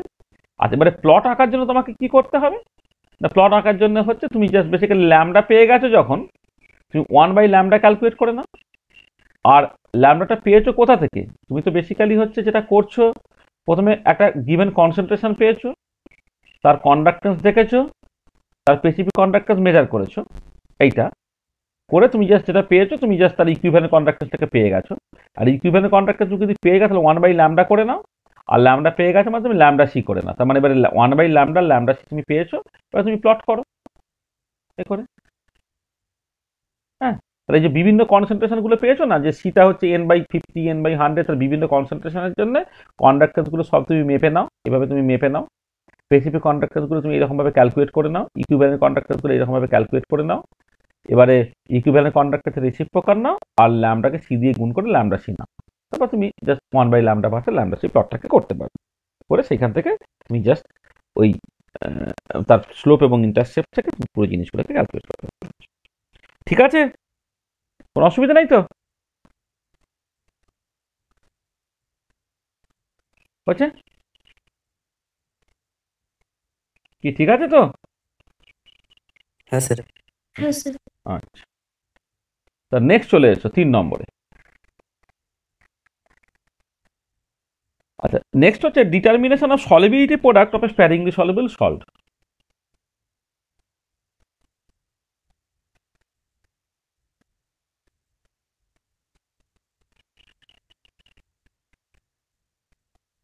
product of a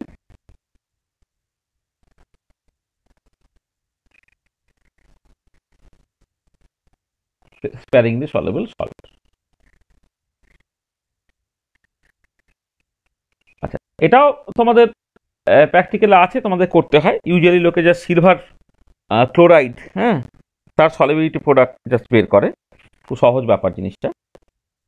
সেটা হচ্ছে তুমি যারা, এক কাজ করো, তুমি একটা স্প্যারিংলি সলেবল সল দাও।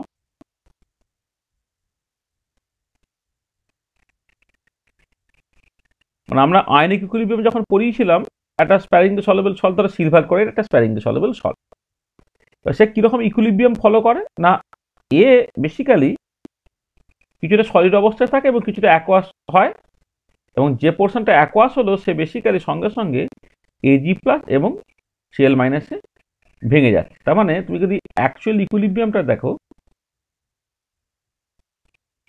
সেটা এরকম যে এজিসিএল সলিড সে বেসিক্যালি তোমার ইকুইলিব্রিয়েট করছে। Ag plus aqueous plus Cl minus aqueous এরকমভাবে এবং এই পার্টিকুলার কেসে তোমার যদি এসটা হচ্ছে সলিবিলিটি হয়, তাহলে এই ক্যাটায়নের যে কনসেন্ট্রেশন যেটা মানে এজি প্লাসের কনসেন্ট্রেশন এই পার্টিকুলার কেসে এজি প্লাসের কনসেন্ট্রেশন সেটা হচ্ছে সিএল মাইনাসের কনসেন্ট্রেশন সমান এবং সেটাই হচ্ছে তোমার এস সেটা হচ্ছে সলিবিলিটি মানে যেখানে এসটা হচ্ছে তোমার সলিবিলিটি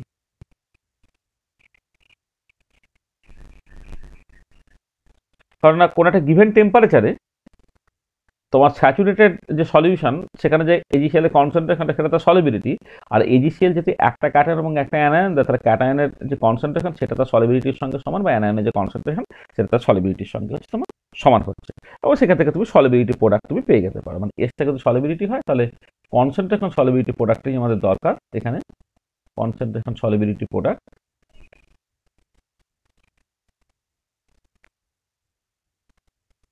concentration solubility product হচ্ছে তোমার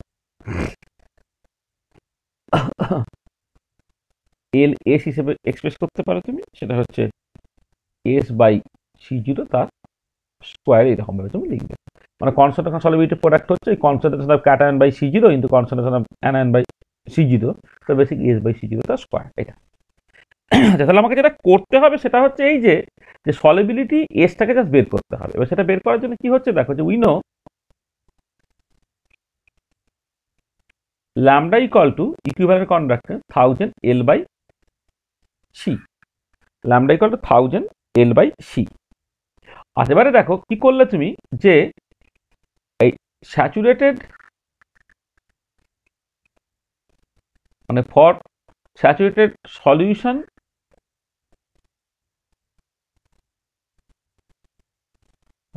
saturated solution of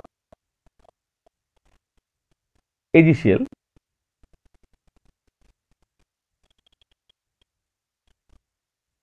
specific conductance ঠিক আছে এল অফ সলিউশন তুমি এইভাবে নাম দাও। স্পেসিফিক কন্ডাক্টরতে এল অফ সলিউশন এইভাবে তুমি বলছো। আর for pure water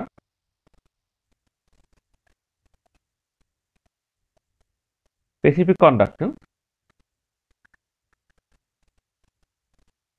সেটাকে তুমি বলো হচ্ছে এল অফ ওয়াটার তাহলে আমি যখন এই lambda equal thousand L by C করব, আমি তো চাইব কি?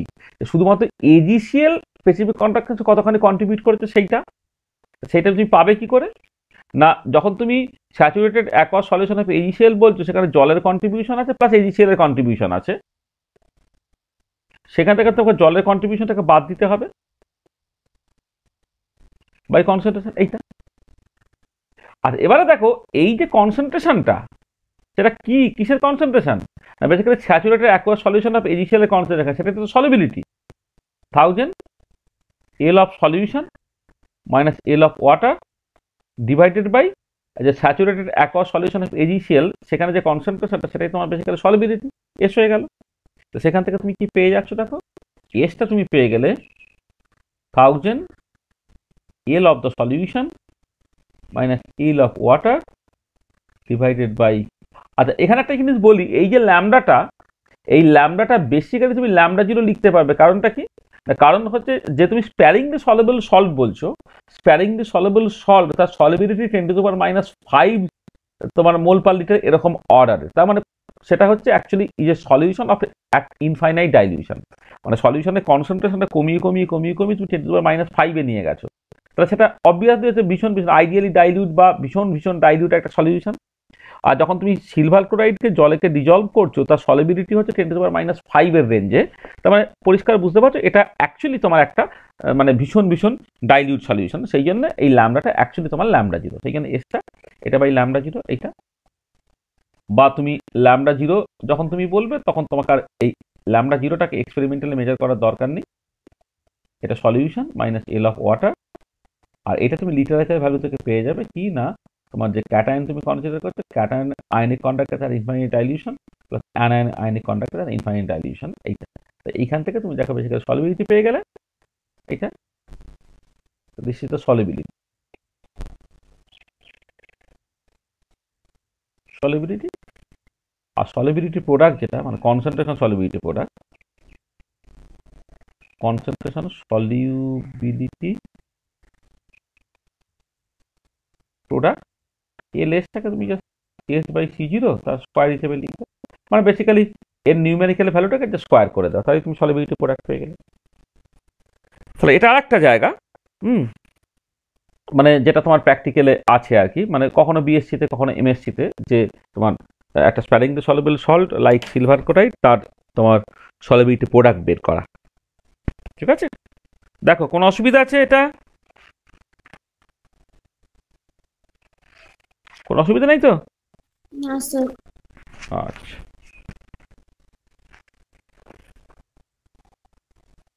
আচ্ছা নেক্সট যেটা আমরা করব সেটা হচ্ছে determination of ionic product of water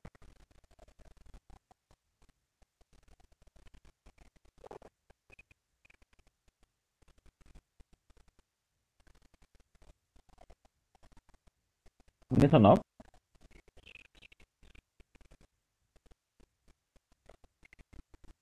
of ionic product of water আসলে এইটা নতুন করে কিছু বলার নেই কারণ না জল নিজে সেটা উইক অ্যাসিডের মতো। তো জল যেহেতু উইক অ্যাসিডের মতো, যেমন আমি ওই সেকেন্ড এক্সাম্পলটার ক্ষেত্রে এই চেকে যেমন করে ডিসোসিয়েট করেছি জলকেও ঠিক একই একই রকমভাবে ডিসোসিয়েট করব। এইচ টুও সে basically H plus plus OH minus এরকমভাবে ডিসোসিয়েট হচ্ছে।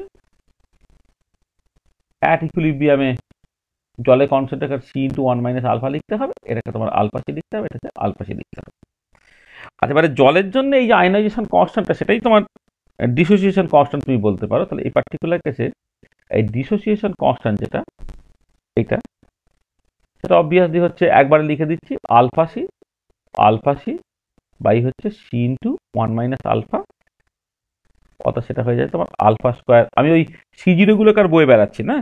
Alpha square C by one minus alpha মানে যে জাস্ট নিচে একটা সি জিরো সি জিরো থাকতো, এই সি জিরোগুলো যদি ওয়ান বলে, আমি এখানে নতুন করে লিখছি না। এটা, এটাকে অ্যাপ্রক্সিমেট তুমি আলফা স্কোয়ার সি বলতে পারবে, কারণটা হচ্ছে আলফাটা মাঝ মাঝ লেস দেন ওয়ান বলে। জাস্ট এখান থেকে জাস্ট এই আলফাটাকে বাদ দিচ্ছ, এরকম করে তুমি লিখে ফেলবে এটা। আচ্ছা এবারে দেখো, তোমার, যদি তোমার আয়নিক প্রোডাক্ট অফ ওয়াটার তোমাকে বের করতে বলে আয়নিক প্রোডাক্ট অফ ওয়াটার মানে কে ডব্লু তো? কে ডব্লুটা কি হয়? বেসিক্যালি ওটা concentration of H plus into concentration of OH minus আমি নিউমেরিক্যাল নিচে সি জিরো স্কোয়ারটা লিখছি না। নিচে একটা সি জিরো স্কোয়ার থাকে, সেটা আমি আর লিখছি না আর কি হ্যাঁ? এটা সেটা কী হবে কি? আলফা স্কোয়ার সি স্কোয়ার হয়ে যাবে। তাহলে তোমাকে কি করতে হচ্ছে দেখো এখানে? যদি আলফা স্কোয়ার সি স্কোয়ার হয়, তাহলে তোমাকে ওই আলফা এবং সি তাদের ভ্যালু আলাদা আলাদা করে বের করতে হবে। কী করে বের করবে তুমি? দেখো সিটাকে বের করে ফেলতে পারো সিটা তো তোমার basically concentration in the unit of mole per litre তা concentration in the unit of mole per litre মানে তোমার বেসিক্যালি ভলিউমটা যদি থাউজেন্ড হয়, তাকে তুমি তার ডেন্সিটি দিয়ে গুণ করো, কোনো একটা গিভেন টেম্পারেচারে তাকে আঠেরো দিয়ে ভাগ করো হ্যাঁ? যেটা হবে, সেটা হচ্ছে মোল পার লিটারে জলের ডেন্সিটি হবে। তার মানে মানে এক লিটারে কত মোল আছে? সেটা তো মোল পার লিটারে তোমার করসপন্ডিং কনসেন্ট্রেশন হবে। তাহলে এবারে এক লিটার তাকে যদি তুমি তার ডেন্সিটি দিয়ে গুণ করে দাও তাহলে কত পরিমাণ হলে ইন গ্রাম তাকে আঠেরো দিয়ে ভাগ করছে, তাহলে মোল পার লিটারে হয়ে যাবে। তাহলে concentration of concentration of pure water এইরকম ভাবে তুমি বের করতে পারো। এবার যদি টোয়েন্টি ফাইভ ডিগ্রি সেন্টিগ্রেডের মতো হয়, তখন তোমার জলের ডেন্সিটিটা জিরো পয়েন্ট নাইন নাইন সেভেনের মতো, এবং সেইখান থেকে তুমি জলের কনসেন্ট্রেশন পাবে fifty five point four mole per litre এরকম একটা অর্ডারে তুমি পাবে। এটা আচ্ছা আর কি লাগবে? আর লাগবে তোমার আলফাটা। তাহলে degree of dissociation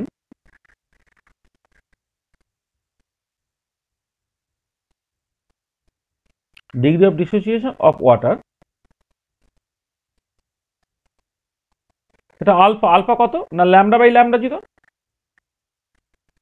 Alpha lambda by lambda zero?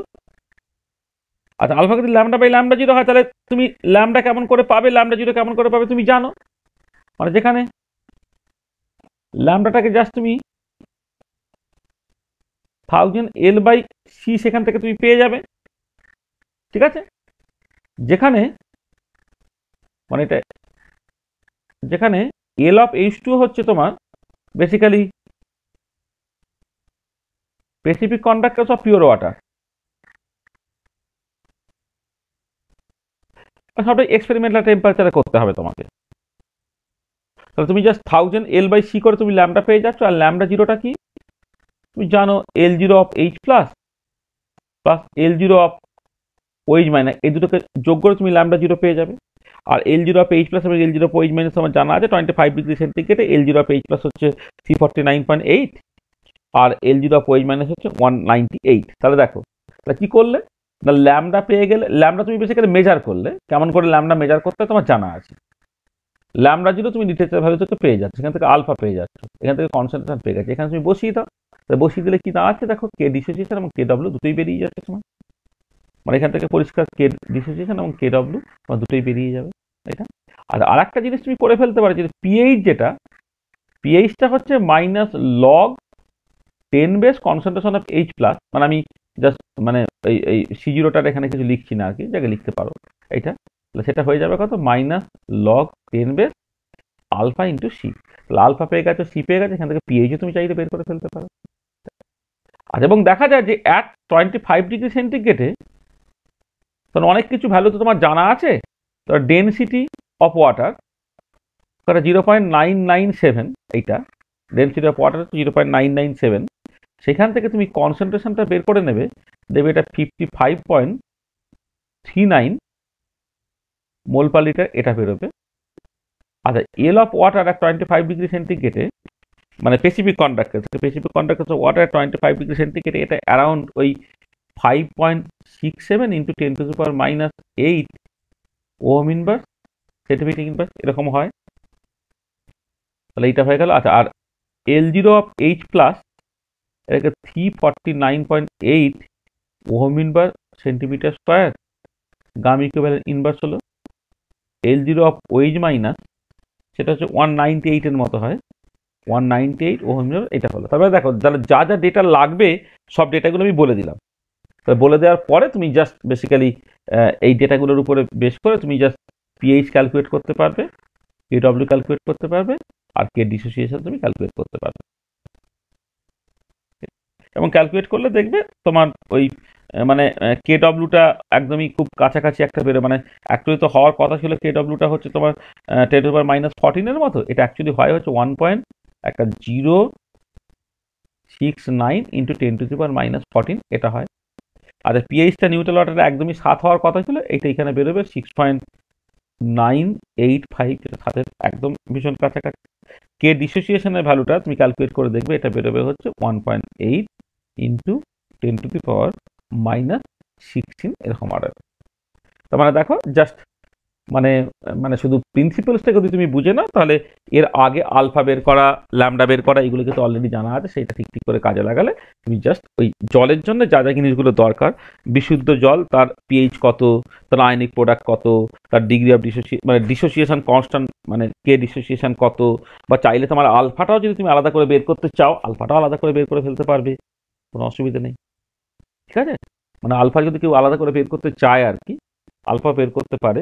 আলফার ভ্যালুটা দেখবে করে দেখবে তোমার ওই one point eight six seven into ten to the power minus নাইনের রেঞ্জে বেরোয় আলফাটা। ঠিক আছে? তাহলে এই গিভেন ডেটাগুলো দিয়ে তুমি দেখবে এই ফর্মুলাগুলোকে ইউজ করে পুরো জিনিসগুলোকে করে ফেলতে পারছ। ঠিক আছে? বোঝা গেল? হ্যাঁ স্যার।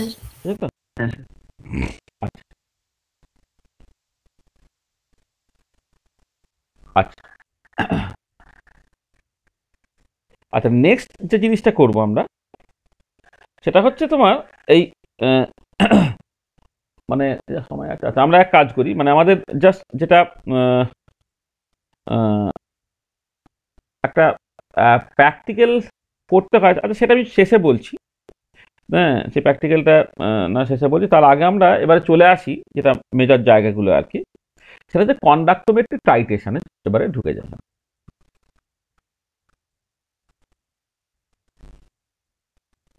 কন্ডাক্টোমেট্রিক টাইটেশন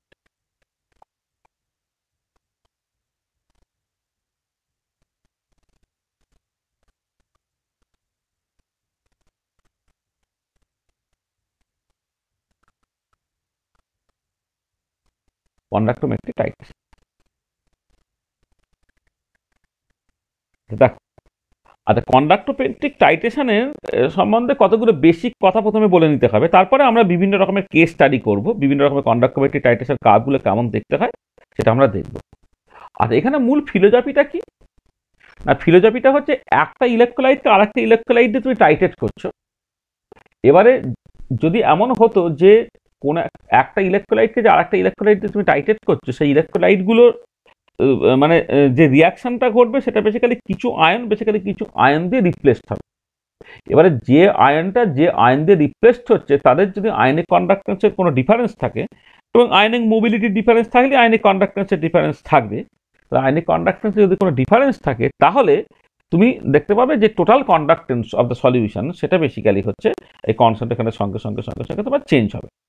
তাহলে মূল ফিলোজফিটা হচ্ছে যে ওয়ান ইলেকট্রোলাইট মানে অ্যাসিড বেস টাইটেশনে ইলেকট্রোলাইটটা ইম্পর্টেন্ট না ইম্পর্টেন্ট হচ্ছে একটা অ্যাসিড আর একটা বেস তাহলে এক্ষেত্রে কিন্তু দুটো ইলেকট্রোলাইট হওয়া দরকার। One electrolyte is titrated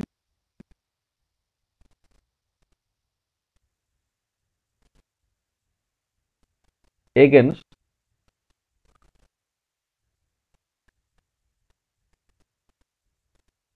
another electrolyte. One electrolyte is titrated against another electrolyte. এইটা এইটা তাতে কি হবে না some ions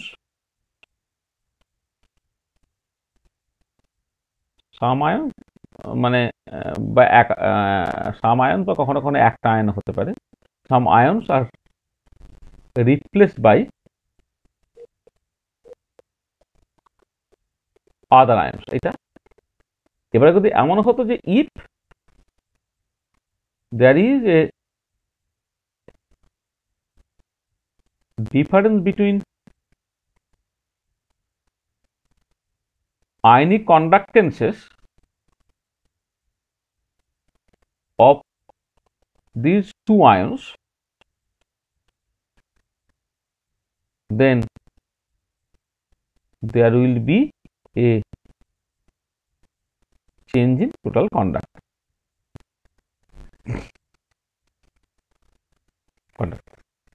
এটা হচ্ছে মূল ব্যাপারটা। আচ্ছা এবারে এই যে ভেরিয়েশনটা, সেই ভেরিয়েশনটা usually linear this variation is linear but the slopes may be different before and after the equivalent point. এবং এই সোপ যে দুটি স্ট্রেট লাইন হবে মানে ইকুইভ্যালেন্ট পয়েন্টের আগেও স্ট্রেট লাইন ইকুইভ্যালেন্টের পয়েন্টের পরেও স্ট্রেট লাইন স্লোপ যদি আলাদা হয়, তাহলে তুমি জাস্ট এই তাদের ইন্টারসেক্টিং পয়েন্ট থেকে তুমি ইকুইভ্যালেন্ট পয়েন্টটাকে বের করতে পারবে। From the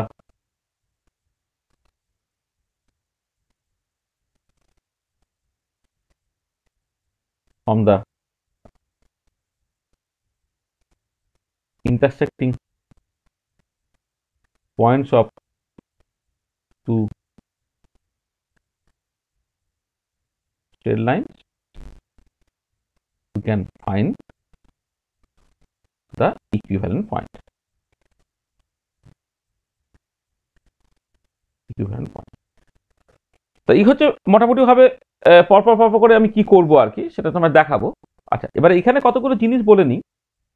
সেটা হচ্ছে যে, তোমার যখন তুমি টাইটেশনটাকে করবে, তখন এই যে লিনিয়ার প্লটটাকে পেতে গেলে না, তোমার বলা হয় যে কোনো ডাইলিউশন এফেক্ট থাকা চলবে না। ডাইলিউশন এফেক্ট থাকা চলবে না মানে হচ্ছে, তুমি ধরো কোন একটা আয়ন কোন একটা আয়ন দিয়ে রিপ্লেসড হলো ধরো অ্যাজ ফর এক্সাম্পল আমি বলছি যে এইচ প্লাসটা এন এ প্লাস দিয়ে রিপ্লেসড হচ্ছে। তাহলে এইচ প্লাসের আয়নিক কন্ডাক্টেন্স বেশি এন এ প্লাসের আয়নিক কন্ডাক্টেন্স কম। তাহলে এইচ প্লাস যদি এন এ প্লাস দিয়ে রিপ্লেস হতে থাকে, তাহলে করসপন্ডিং কন্ডাক্টেন্সটা কমবে।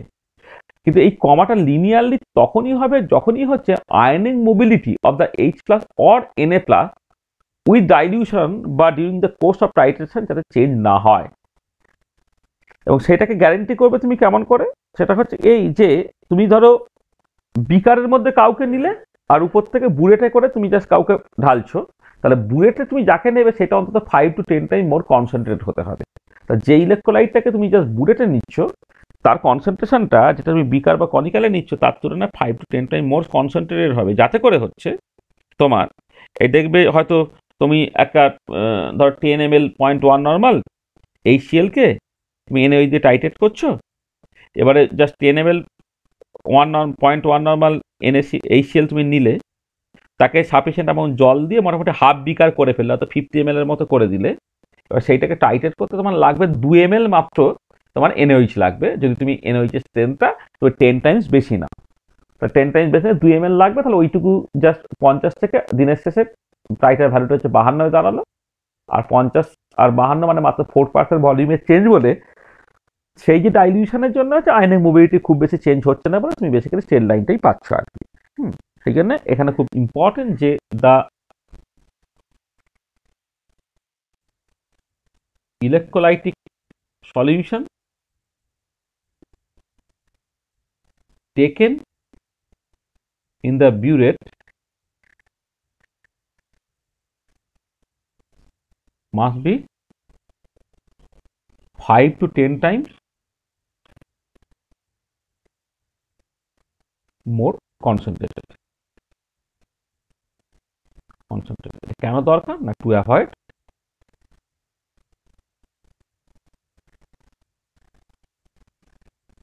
ভলিউম এরার ঠিক আছে? এই ভলিউম এরারটাকে জাস্ট তোমার এলিমিনেট করার জন্য তোমাকে এই কাজটাকে করতে করতে হবে। ঠিক আছে?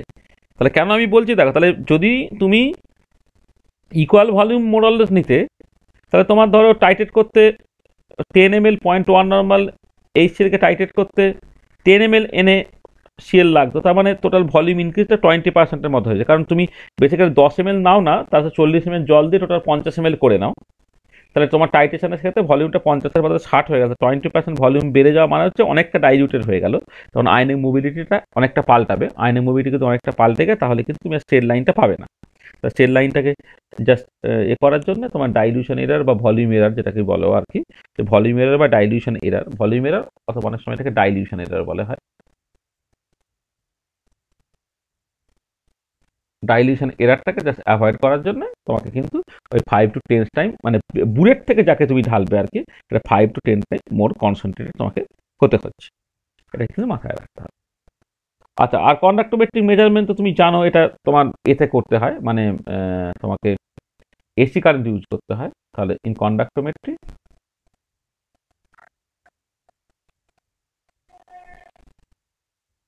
alternative current AC is use এটা। আচ্ছা এবারে তাহলে যেটা তুমি পাবে এখানে কারণটা আমি পরে বলছি। ধরো, তুমি একটা টাইটেশন করছ এইচসিএল ভার্সেস এনএইচ টাইটেশন করছ। আচ্ছা কার্বন নেচারটা কেন এরকম আমি পরে বলছি?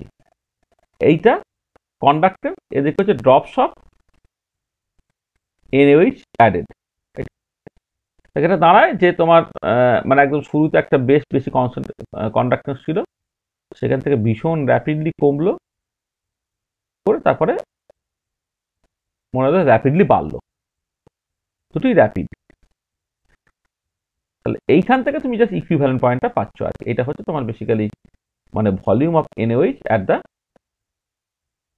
equivalent point মানে volume of NaOH at the equivalent point এটা। আচ্ছা তাহলে যেটা কথা হচ্ছে এদিকটাও স্টেট লাইন এদিকেও স্টেট লাইন মানে এদিকে তুমি এরকম বেশ কিছু কিছু পয়েন্ট পাচ্ছ যেটা স্টেট লাইন এদিকে বেশ কিছু কিছু পয়েন্ট পাচ্ছ সেটা তোমার বেসিক্যালি স্টেট লাইন আর তুমি এই মাঝের জায়গাটা জাস্ট একটু অ্যাভয়েড করো মানে এইখানে তো পয়েন্টগুলো একটুখানি হাবিজাবি হতেই পারে। সেটা নিয়ে তো ভয় পাওয়ার কিছু নেই। তুমি যেটা করবে, এই দূরের দিকে পয়েন্টগুলো কিন্তু সুন্দর স্ট্রেট লাইনের মধ্যে থাকে। তাহলে এটাকে তুমি স্ট্রেট লাইন টানলে, এটাকে স্ট্রেট লাইন টানলে একটা পয়েন্টে তারা কাট করল। এটা তোমার এরকম তো বেড়ে গেলে এদিকে চলে যাচ্ছে এটা এদিকে চলে গেলে এদিকে চলে গেছে। তাহলে কাট করলে একটা পার্টিকুলার পয়েন্টে তার যে করসপন্ডিং ভলিউমটা সেটা হচ্ছে তোমার বেসিক্যালি ইকুইভ্যালেন্ট পয়েন্টে এনওইচ যত ডব লেগেছে তার ভলিউমটা এটা। আচ্ছা এবারে এখানে একটা জিনিস যেটা, সেটা হচ্ছে যে যে এর সঙ্গে তুমি যদি পিএইচ মেট্রিক বা পোটেন্সিওমেট্রিক টাইটেশন তুমি কম্পেয়ার করো, এটা হচ্ছে কন্ডাক্টোমেট্রির জন্য। তুমি জাস্ট এটা যদি পিএইচ মেট্রিক বা পোটেন্সিওমেট্রিক করতে, তাহলে ছবির নেচারটা কেমন হতো? তাহলে একই ছবি তুমি হয়তো আঁকছো এইচএল ভার্সেস এনওইচ টাইটেশনটাই তুমি আঁকছো হ্যাঁ? সেইখানে যদি তুমি এই pH versus drops of NaOH added যদি তুমি দেখো কার্বন নেচারটা কি হয়? না পিএইচটা তোমার একটা কম ভ্যালু থেকে প্রথমে স্লোলি বাড়ে, তারপরে সেটা হঠাৎ করে র্যাপিডলি বাড়ে র্যাপিডলি বেড়ে তারপরে আবার তোমার বেসিক্যালি স্লোলি বাড়ে। তাহলে দেখো তুমি এই রকমের একটা সিগময়েড কাপ পাচ্ছ। তাহলে এখানে হচ্ছে লিনিয়ার প্লট মানে এখানে হচ্ছে লিনিয়ার প্লট আর এখানে হচ্ছে sigmoid plot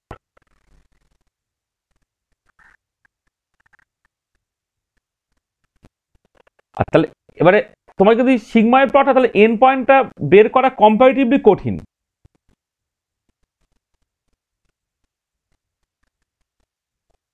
Determination of endpoint is comparatively harder harder আর এই ক্ষেত্রে কি হচ্ছে? স্ট্রেট লাইন হয়ে যাওয়ার জন্য খুব easy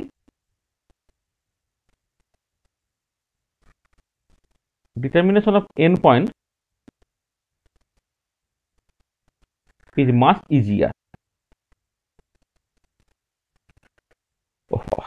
আচ্ছা এবারে দেখো এক্ষেত্রে এক্ষেত্রে কিন্তু তোমার ওই আলাদা করে তোমাকে এ থাকতে হবে না। মানে এই এন পয়েন্টের কাছে এক্সট্রা তোমাকে কেয়ারফুল থাকতে হবে না। এখানে কিন্তু এন পয়েন্টের কাছে তোমাকে এক্সট্রা কেয়ারফুল থাকে তুমি যখন পিএইচ মেট্রিক টাইটেশন করবে, দেখবে এনএইচ প্রথমে তুমি হয়তো দু ড্রপ করে দিচ্ছ। কিন্তু যখন তোমার পিএইচটা মানে জাম যখন ঘটে না, মোটামুটিভাবে এইচএল বা অ্যাসিডিক অ্যাসিড বা এনএইচ এই টাইটেশনটা তুমি মূল মেনলি করবে। এইচএল বা এনএইচ ইউজুয়ালি করে না। যাকে যেটা কথা, সেটা হচ্ছে এই যে যদি অ্যাসিডিক অ্যাসিড বা এনএইচ টাইটেশন করে না পিএইচ এই ছয়, সাড়ে ছয় থেকে হঠাৎ করে দশ, সাড়ে দশের জাম্প ঘটে। সেই জন্য যখন তোমার পিএইচটা ছয় ক্রস করে গেলে তখন তোমাকে বলে যে তুমি আর দু ড্রপ করে দিও না, এক ড্রপ এক ড্রপ করে দাও। তাহলে একটা পার্টিকুলার পয়েন্টে তোমাকে এন পয়েন্টটাকে বের করতে গেলে তোমাকে এই কাজটাকে করতে হবে। তাহলে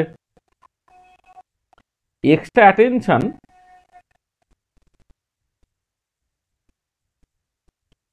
is not needed near the end point আর এক্ষেত্রে কিন্তু এক্সট্রা অ্যাটেনশন কিন্তু তোমার দরকার পড়ে। এর ক্ষেত্রে হচ্ছে extra attention is needed attention is needed near the end point.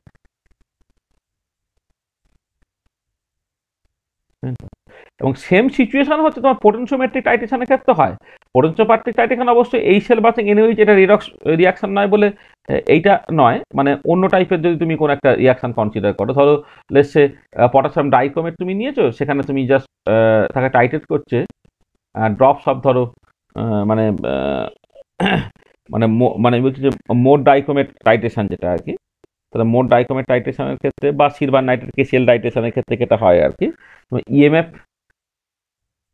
এটা আছে? Drop shop K two CR two O seven একটা মোর ডাইক্রোমেট টাইটেশন আছে। Mohr dichromate titration. এটা যে কোনো অ্যাসিড বেস টাইটেশন এই সেল ভার্সিক এনওইচ তুমি বলতে পারো অ্যাসিটিক অ্যাসিড ভার্সিক এনওইচ বলতে পারো, ইত্যাদি মোর ডাইক্রোমেট টাইটেশন।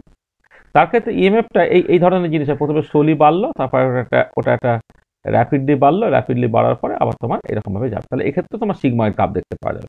মানে যাকে পিএইচ মানে পিএইচ মেট্রি বা পোটেনশিওমেট্রি হ্যাঁ? এই পিএইচ মেট্রি বা পোটেনশিওমেট্রি টাইটেশনের যে কার্ভের নেচারটা আর কন্ডাক্টোমেট্রিক টাইটেশনের কার্ভের নেচারটা একদমই আলাদা। কন্ডাক্টোমেট্রির ক্ষেত্রে এই যেহেতু স্ট্রেট লাইন হচ্ছে, তার জন্য তুমি হিউজ একটা অ্যাডভান্টেজ পাচ্ছ, যেটা পিএইচ মেট্রি বা পোটেনশিওমেট্রিতে হয় না। পিএইচ মেট্রি বা পোটেনশিওমেট্রিক টাইটেশনের ক্ষেত্রে ওই এন পয়েন্টটা বের করা, সেটাই ইটসেলফ একটা চ্যালেঞ্জের মতোই বলতে পারো বা ইটসেলফ একটা বেশ হিউজ টাস্ক এবং সেইটা নিয়ে লোকে অনেক কেয়ারফুল থাকে। মানে হয়তো এমনি প্লটে বুঝতে না পারলে ডেরিভেটিভ প্লট করতে বলা হয় ডেরিভেটিভ প্লটে না বুঝতে পারলে তোমাকে সেকেন্ড ডেরিভেটিভ প্লট করতে বলা হয়, এসব অনেক ব্যাপারটা পারা আছে আর কি। হ্যাঁ কিন্তু এক্ষেত্রে সেই সমস্যাটা একদমই নেই। ঠিক আছে? তাহলে ইকুইভ্যালেন্ট পয়েন্ট ইজিলি কিন্তু পেয়ে যেতে পারছ। তাহলে কতগুলো কথা দেখো আমি নর্মালি বললাম যে কন্ডাক্টোমেট্রিক টাইটেশনের যে মূল যে ফিলোজফিটা সেই ফিলোজফিটা আমি এখানে উল্লেখ করেছি। আচ্ছা কেন five to ten time more concentrated সলিউশনটা নিতে হচ্ছে বুলেটের মধ্যে আর কি? সেটার একটা কারণ বলার চেষ্টা করেছি হুম? আর তোমার যেটা পিএইচ মেট্রিক বা পোটেন্সিওমেট্রিকের রেসপেক্টে কোথায় কি অ্যাডিশনাল অ্যাডভান্টেজ আর কি সেটাকে আমি এখানে উল্লেখ করলাম। ঠিক আছে তো? কোনো অসুবিধা নেই তো? না স্যার। আচ্ছা এবার আমি দু একটা জাস্ট কেস বলছি ধরো। ধরো এই strong acid versus strong base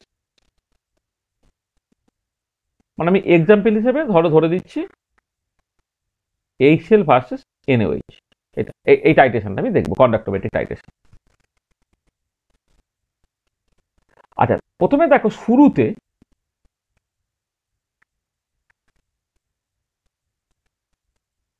at the beginning মিডিয়ামে কে কে আছে না H plus plus CL minus আছে? শুরুতে সলিউশনে কে কে আছে না এইচ প্লাস এবং সিএল মাইনাস আছে? এটা। এবং এইচ প্লাস এবং সিএল মাইনাস দুজনেই কন্ডাক্টার্স খুব বেশি মানে মানে এইচ প্লাসের পার্টিকুলার আয়নিক কন্ডাক্টার্স খুব বেশি আর কি। হ্যাঁ সেই জন্য তোমার ওভারঅল কন্ডাক্টার্সটা কিন্তু প্রচণ্ড হাই হবে আর এটা। এবারে তুমি ধরো few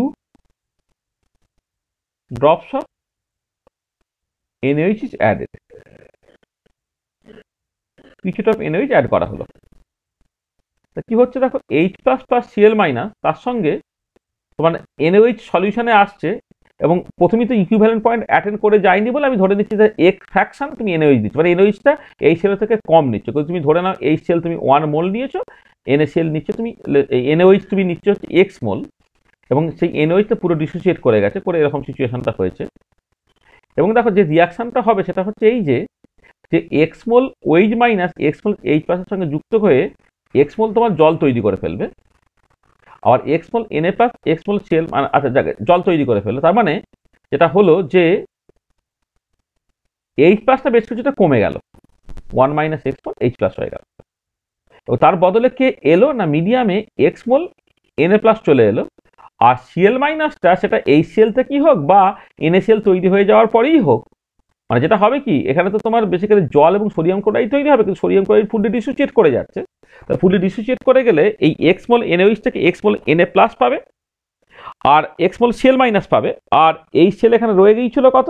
রয়ে গিয়েছিল তোমার বেসিক্যালি হচ্ছে তোমার ওয়ান মোল অলরেডি তাহলে যে সিএল মাইনাস যেটা, সে সিএল মাইনাসটা সরি আমি যেটা বললাম যে সিএল মাইনাস যেটা সিএল মাইনাসটা কিন্তু আলটিমেটলি যা ছিল তাই রয়ে গেল। মানে সিএল মাইনাস যেটা ছিল আলটিমেটলি তাই রয়ে গেল। মানে এখানে এইচ সেল হিসেবে ছিল, আর পরবর্তীকালে এইচ সেল এবং এনএসিএল এর মিক্সার হিসেবে তোমার রয়েছে। তার মানে আলটিমেটলি যেটা ঘটেছে দেখো, যেটা মূল যে জায়গাটা, সেটা হচ্ছে H plus has been replace by NA plus তার মানে যেটা হচ্ছে H plus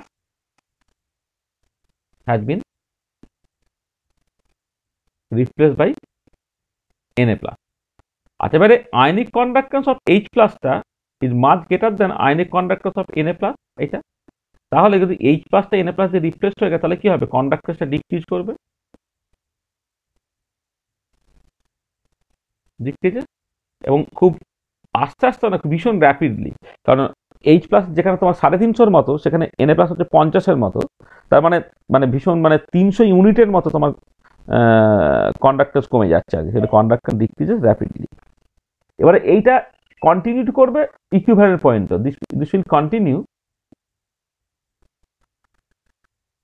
continue till the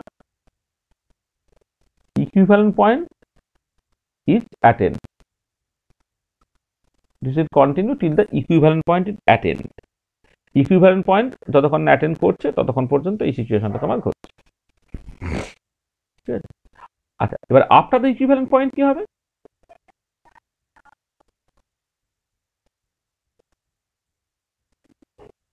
after the equivalent point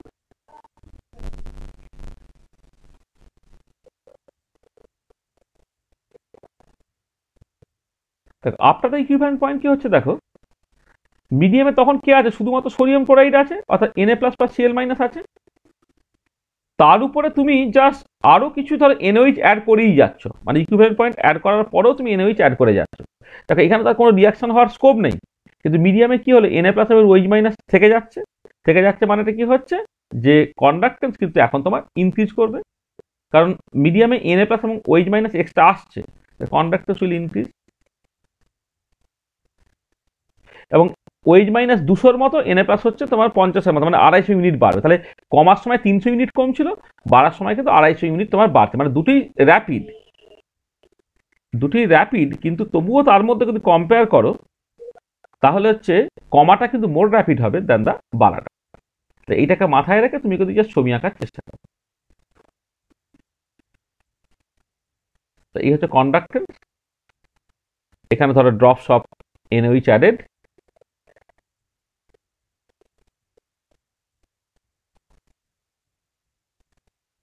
drops of NaOH added তাহলে জাস্ট ভীষণটা একটা হাই ভ্যালু থেকে খুব র্যাপিডলি কমছে। পরে তারপর বাড়ছে সেটা র্যাপিডলি কিন্তু একদম এটা ছোটাল ছবিটা ভি শেপড হবে না। পরের দিকটা একটু হলেও ফ্ল্যাট তো এইটা যেটা হলো, এইটা হচ্ছে তোমার ইকুইভ্যালেন্ট পয়েন্ট ইকুইভ্যালেন্ট পয়েন্ট তো এটা হচ্ছে তোমার ওই ওই HCl versus NaCl plot HCl versus NaOH sorry এনওই টাইটেশনের প্লটটা হচ্ছে এরকম দেখতে হবে। ঠিক আছে? বুঝতে পারো বোঝা গেল তো? হ্যাঁ স্যার। আচ্ছা এবারে এইখানে তুমি যদি এইচসিএল এর বদলে যদি তুমি সালফিটিক অ্যাসিড নিতে একই রকমের প্লট হতো।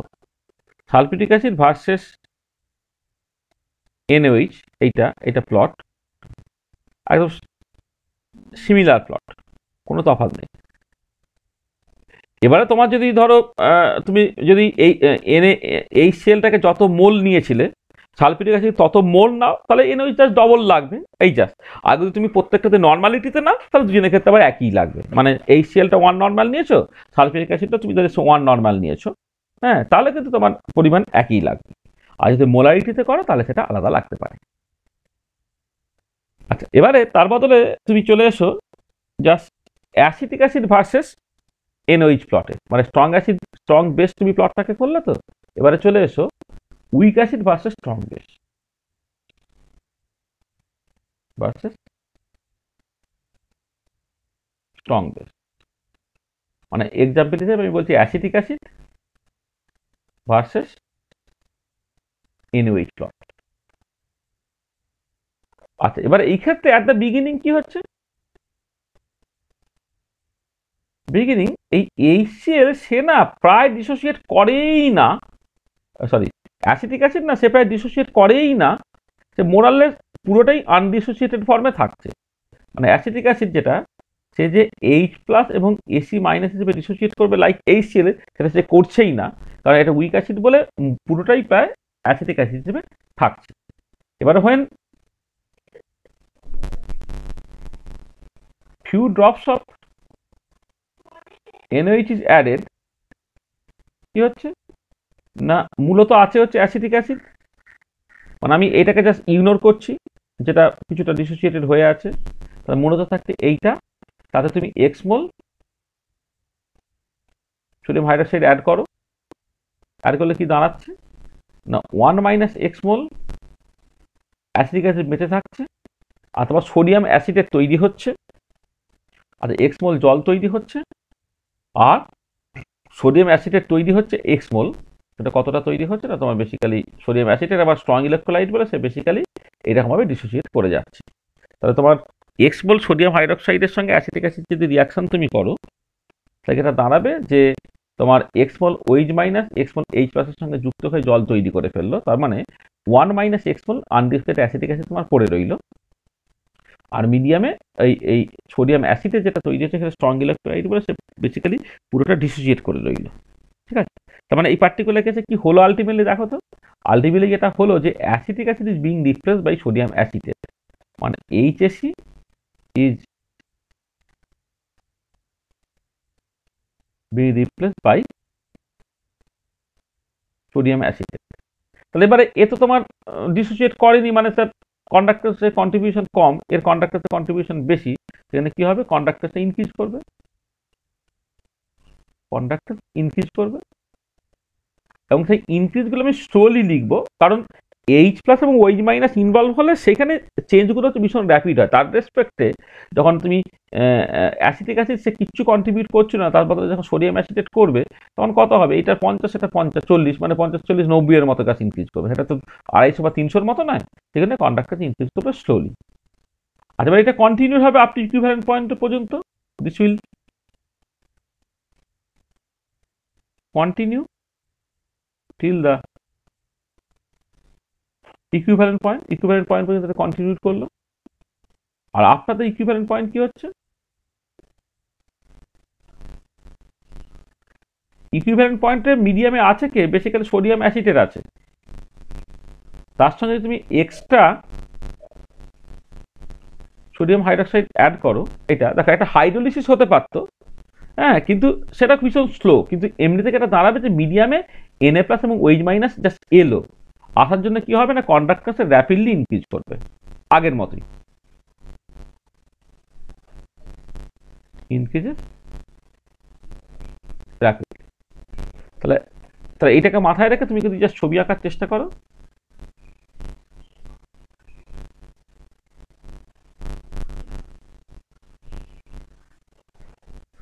সেটা হচ্ছে তোমার কন্ডাক্টেন্স এদিকে drops of NaOH car plot acetic acid versus NaOH plot তাহলে কি হচ্ছে এক্ষেত্রে? প্রথমে জাস্ট তোমার স্লোলি ইনক্রিজ করছে।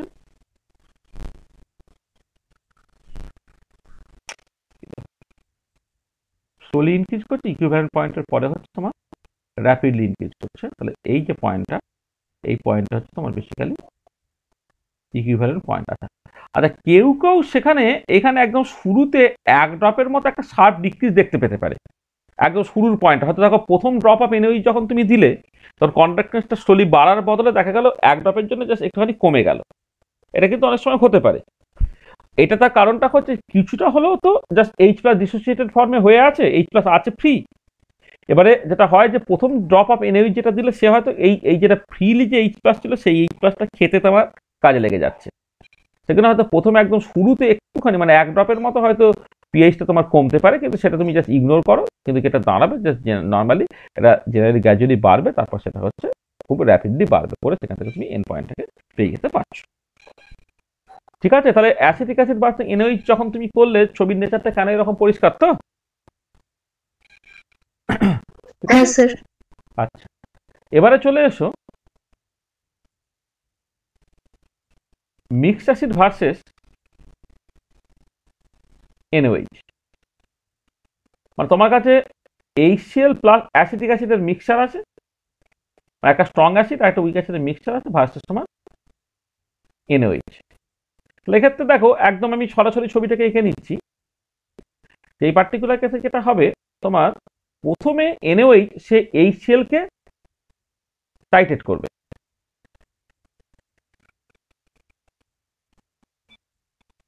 তাহলে এইচসিএল এবং অ্যাসিড অ্যাসিড যখন মিক্সচার থাকবে, তখন এনএইচ প্রথমে কাকে খাবে? না এইচসিএল কে খাবে? এইচসিএল খেলে খেলে কী হবে? না তোমার কন্ডাক্টেন্সটা ভীষণ র্যাপিডলি কমতে থাকবে? এটা এবার এইচসিএল খাওয়া শেষ হয়ে গেল। এইচসিএল খাওয়া শেষ হয়ে গেল মানে হচ্ছে তোমার প্রথম যে ইকুইভ্যালেন্ট পয়েন্ট যেটা ইকুইভ্যালেন্ট পয়েন্ট ওয়ানটা রিচ করে গেল। তাহলে এইচসিএল থেকে এইচসিএল আর খাওয়ার কিছু নেই। এবারে অ্যাসিডিক অ্যাসিডকে সে অ্যাটাক করবে।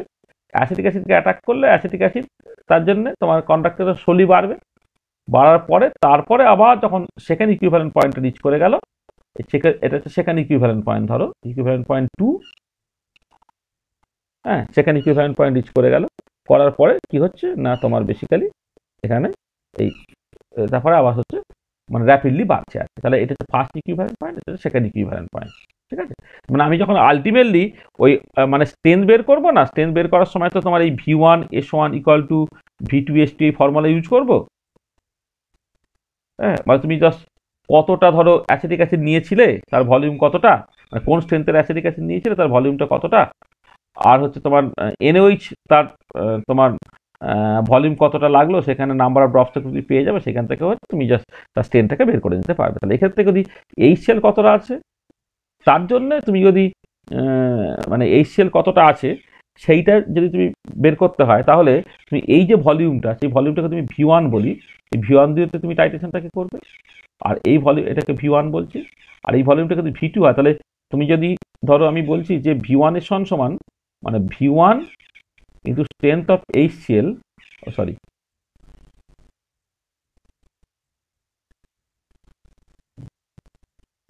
V of H CL কিন্তু S of H CL equal to V one into S of NH এইটা? আর যদি সেকেন্ড ইকুইভ্যালেন্ট পয়েন্টে ভি টু ভলিউমে আসে, তাহলে ভলিউম অফ অ্যাসিটিক অ্যাসিড কিন্তু স্ট্রেংথ অফ অ্যাসিটিক অ্যাসিড এটাকে তোমায় লিখতে হবে যে শুধুমাত্র উইক অ্যাসিডটাকে টাইটেট করতে কতখানি এনএইচ লেগেছে? V two minus V one into strength of NH তাহলে এইখান থেকে তুমি টাইটেট করে তুমি জাস্ট যা চাইবে মানে এই সেলের স্ট্রেন যদি বের করতে চাও বা অ্যাসিডিক অ্যাসিডের স্ট্রেন যদি বের করতে চাও, এখান থেকে তুমি বের করতে পারো। তাহলে প্রথমে এই সেলটা টাইটেশন হয়ে গেছে, তুমি এন পয়েন্টটা পেয়ে গেছো।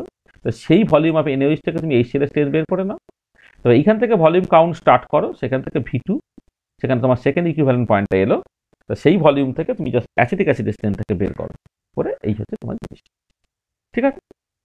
আচ্ছা এবার একই রকমের জিনিস হবে যদি তুমি একটা অক্সালিক অ্যাসিড ভার্সেস এনএইচ টাইটেশনটাকে করো। অক্সালিক অ্যাসিড মানে হচ্ছে তোমার বেসিক্যালি একটা, এই- এই- এইটা হচ্ছে তোমার একটা উইক ডাইবেসিক অ্যাসিড সেটা সিনামিক অ্যাসিডের ক্ষেত্রেও হতে পারে। উইক ডাইবেসিক অ্যাসিড আসলে এটা হয় যে অক্সালিক অ্যাসিডের ক্ষেত্রে তোমার দুটো প্রোটন আছে তো? প্রথমটা দেখা যায় যে সি ডবল ও মাইনাস আর সি ডবল এইচ অর্থাৎ মানে এইটা হচ্ছে তোমার বিহেভ করে স্ট্রং অ্যাসিডের মতো। স্ট্রং অ্যাসিড মানে প্রথম প্রোটনটা একটা স্ট্রং অ্যাসিডের মতো খুব ইজিলি বেরিয়ে যায় মানে এই সেলের ক্ষেত্রে বেরিয়ে যায়। আর তারপরে যে পার্টটা সেকেন্ড প্রোটনটা যখন বেরোয়, সেটা বেসিক্যালি তোমার এরকম একটা ইকুইলিব্রিয়ামের থ্রু দিয়ে, আর সেকেন্ড প্রোটনটা হচ্ছে তোমার বেসিক্যালি অ্যাসিডিক অ্যাসিডের মতো স্লোলি বেরোয়। তার মানে এই পার্টিকুলার কেসে যেমন একটা আমি অ্যাসিটিক অ্যাসিড এবং এইচসিএল একটা উইক অ্যাসিড এবং একটা স্ট্রং অ্যাসিডের আমি মিক্সচার নিয়েছিলাম, তার বদলে যদি আমি একটা উইক ডাইবেসিক অ্যাসিড নিই যা লাইক অক্সালিক অ্যাসিড বা সিনামিক অ্যাসিড ইত্যাদি ইত্যাদি, তাদের ক্ষেত্রে conduction versus drops of NOH অ্যাডের যদি আমি প্লট করি, তাহলে কি হবে? তার ক্ষেত্রে এটা দাঁড়াবে যে তোমার ওই প্রথম প্রোটনটা স্ট্রং অ্যাসিডের মতো র্যাপিডলি কমলো, তারপরে সলি বাড়লো, তারপর আবার র্যাপিডলি বাড়লো। এইটা।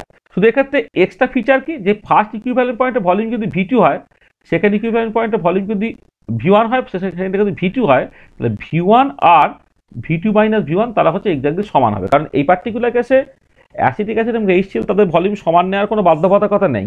কিন্তু এই পার্টিকুলার কেসে কী হচ্ছে? এই পার্টিকুলার কেসে কিন্তু জাস্ট প্রথম প্রোটনটা খেতে যতটা এইচ প্লাস লাগবে সেকেন্ড প্রোটনটা খেতে কিন্তু এক্স্যাক্টলি একই এইচ প্লাস লাগবে। সেই জন্য ভি ওয়ান এবং V two minus V one এই দুটো তোমার সিম্পলি যা সমান হবে। তাহলে একটা মিক্সড অ্যাসিড ভার্সেস এনওএইচ আর মানে স্ট্রং অ্যাসিড উগি অ্যাসিডের মিক্সচার ভার্সেস এনওএইচ আর অক্সালিক অ্যাসিড ভার্সেস এনওএইচ তার টাইটেশন কাপগুলো এক্স্যাক্টলি একই রকমের দেখতে। শুধু তফাৎটা হচ্ছে এই যে এক্ষেত্রে এই ভি ওয়ান এবং V two minus V one তারা সমান হওয়ার কোনো বাধ্যবাধকতা নেই কিন্তু এই পার্টিকুলার কেসে ভি ওয়ান এবং V two minus V one তারা কিন্তু এক্স্যাক্টলি সমান সমান হবে। ঠিক আছে? বোঝা গেল? ঠিক আছে তো? হ্যাঁ আচ্ছা। এবার তুমি ধরো সবই তো বললাম। আচ্ছা এবারে ধরো একটা strong acid versus weak base নিচ্ছ। মানে ধরো আমি স্ট্রং অ্যাসিড মানে এইচসিএল ভার্সেস অ্যামোনিয়াম হাইড্রক্সাইড এরকম তুমি কাউকে একটা নিচ্ছ। তো একই রকম করে তুমি যেটা পাবে, যে প্রথমে এইচসিএল সেটা এইচসিএল এইচ প্লাসটা বেসিক্যালি রিপ্লেসড হচ্ছে এনএইচ ফোর প্লাস দিয়ে।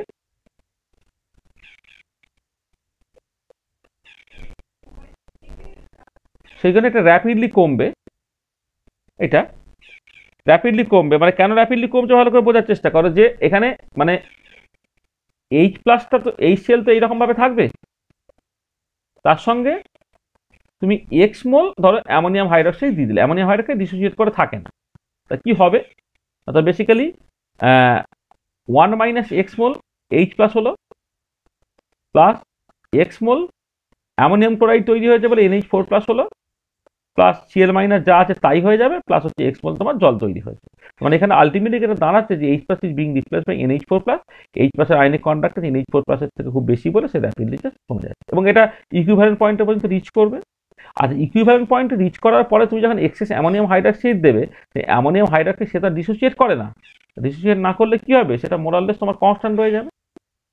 তারপর তবে র্যাপিডলি কমলো, তারপরে মোরাললেস সেটা কনস্ট্যান্ট হয়ে গেল। সেক্ষেত্রে তুমি ইকুইভ্যালেন্ট পয়েন্টটা পেয়ে গেলে। তাহলে আগের ক্ষেত্রে যদি এনএইচ দিতে ইকুইভ্যালেন্ট পয়েন্টের পরে এনএইচ দিলে এনএ প্লাস এবং ওইচ মাইনাস কন্ডাকশন এক্সপার্ট করছে বলে কন্ডাকশন সেটা বাড়িয়ে দিচ্ছিল। কিন্তু এই পার্টিকুলার কেসে ইকুইভ্যালেন্ট পয়েন্টের পরে তুমি যখন অ্যামোনিয়াম হাইড্রক্সাইডটা দিলে অ্যামোনিয়াম হাইড্রক্সাইড মোরালে ডিসোসিয়েট করে না বলে কন্ডাক্টারটা মোরালে কনস্ট্যান্ট থেকে যাচ্ছে। র্যাপিডলি কমে তারপর সেটা কনস্ট্যান্ট হয়ে গেল। আর উল্টো দিকে যদি weak acid versus weak base তুমি করতে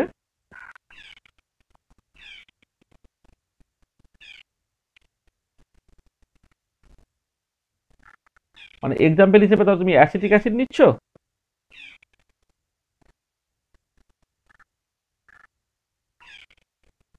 ভার্সেস অ্যামোনিয়াম হাইড্রক্সাইড এটা তুমি ধরো নিচ্ছ। তাহলে এখানে তুমি কন্ডাক্টেন্স ভার্সেস ধরো drops of ammonium hydroxide added তো তার ক্ষেত্রে প্রথমে ওই খুব স্লোলি বাড়ছে। খুব স্লোলি বাড়ছে। বেড়ে গিয়ে তারপর তোমার কনস্ট্যান্ট হয়ে যাচ্ছে। আর এর ক্ষেত্রে মানে নো ক্লিয়ার এন্ড পয়েন্ট কারণটা কি? কারণ প্রথম কথা হচ্ছে যে অ্যাসিডিক অ্যাসিড যে মিক্সচারে আছে না, সে তো হাইড্রোলিসিস হয়, সেখানে পয়েন্টগুলো কি হয়? বড্ড স্ক্যাটার্ড হয়েতে পয়েন্টগুলো আসে। এক্ষেত্রে পয়েন্টগুলো না বেসিক্যালি খুব স্ক্যাটার্ড হয়েতে আসে। এই জন্য এখান থেকে না তোমার এই যে একদম ক্লিয়ার ইন পয়েন্ট পাওয়াটা কিন্তু বেশ ডিফিকাল্ট হয়। আমি একটা ইকুইভ্যালেন্ট পয়েন্ট যদি ঠিক ঠিক করে আঁকতে পারি, আমি একটা ইকুইভ্যালেন্ট পয়েন্ট এখানে লিখতে পারি। কিন্তু আগের কেসগুলোতে কত সহজে ইকুইভ্যালেন্ট পয়েন্টটা পাওয়া যায়, এক্ষেত্রে কিন্তু ইকুইভ্যালেন্ট পয়েন্টটা পাওয়া কিন্তু একটু বেশ ডিফিকাল্ট হয়। ঠিক আছে? তাহলে এই হচ্ছে মোটামুটিভাবে অ্যাসিড বেস টাইট্রেশনগুলো কেমন করে হয় সেটা তোমায় দেখালাম। আর এছাড়া অন্য রকমের বেশ কিছু কিছু তোমার টাইট্রেশন আছে আর কি, সেগুলো তুমি জাস্ট দেখতে পারো। যেমন ধরো অ্যাজ ফর এক্সাম্পল তুমি ধরো silver nitrate versus KCL titration তুমি দেখছ। করে যেটা করে সিলভার ক্লোরাইডের তোমার প্রেসিপিটেট পরে তাহলে তো শুরু থেকে এটা হয়, না তোমার সলিউশনে সিলভার নাইট্রেট আছে সেখানে তুমি এক্স মোল ধরো কেসিএল অ্যাড করলে কে প্লাস সিএল মাইনাস তুমি অ্যাড করছ। পড়ে যেটা হবে, তোমার এক্স মোল এজিসিএল এর প্রেসিপিটেট পড়ে গেল। যদি পড়ে যায়, তার মানে তোমার এজি প্লাস তোমার বেশ কিছুটা কমে গেল। আর তার বদলে কে প্লাস তোমার সলিউশনে বেশ কিছুটা চলে এলো। এই হচ্ছে তোমার রিয়াকশনটা এটা। তাহলে এখানে কিছু AG plus is being replace by K plus কিন্তু ionic conductance of AG plus more or less equal to ionic conductance of K plus তার মানে কি হবে? তাহলে প্রথম দিকে কন্ডাক্টেন্সে কিছুই চেঞ্জ হবে না। কারণ এজি প্লাসটা কেসিএল দিয়ে রিপ্লেসড হচ্ছে।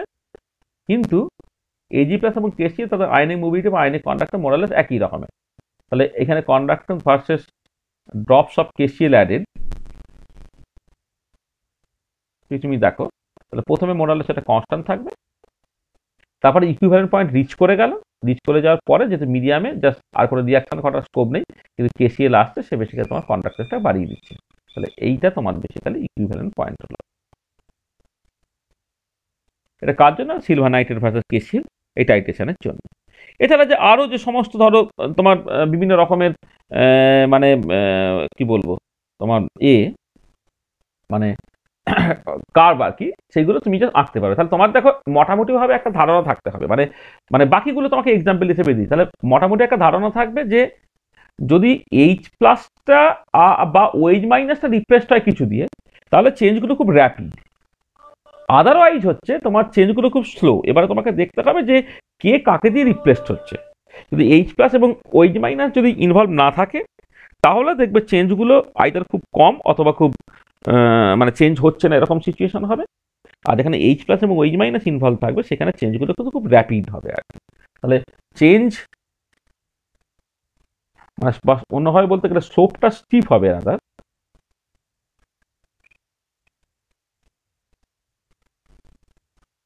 slope are steep when h plus or OH minus R involve হ্যাঁ। এগুলো তুমি মাথায় রাখবে আদারওয়াইজ স্লোপগুলো কিন্তু বেশ কম টমই হবে আর কি। এবারে আমি বিভিন্ন রকমের বেশ কিছু এক্সাম্পল তোমাকে দিলাম। এবারে বাকি যদি অন্য রকমের জাস্ট কেস টেস্টগুলো থাকে আর কি সেগুলো তুমি একটুখানি মানে আমাদের বইয়ে আরও বেশ কিছু কিছু ছবি টবি আঁকা আছে দেখবে যেগুলো বিভিন্ন সময় হয়তো পরীক্ষায় পড়েছে। সেগুলো তুমি একটুখানি নিজে নিজে দেখে নেবে। যেমন ধরো তোমার হয়তো মানে magnesium sulphate versus baryta barium hydroxide, তার প্লট কেমন হয় সেটা তুমি একটুখানি দেখে নিতে পারো। তারপরে তুমি ধরো মানে মানে অনেক সময় রিভার্স প্লট করতে হয়। ধরো ধরো বেরিয়াম নাইট্রেট ভার্সেস সালফিউরিক অ্যাসিডের প্লট সেটা কেমন হয় তুমি দেখতে পারো। তারপর তুমি ধরো সোডিয়াম অ্যাসিটেট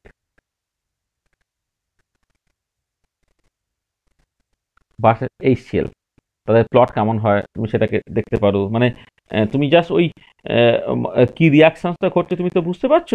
যে কী রিয়াকশনটা করছে সেটাকে বুঝে নিয়ে তুমি জাস্ট যেটা করবে যে কোন আয়নটা কোনটা দিয়ে রিপ্লেস হচ্ছে সেটাকে তুমি বুঝবে।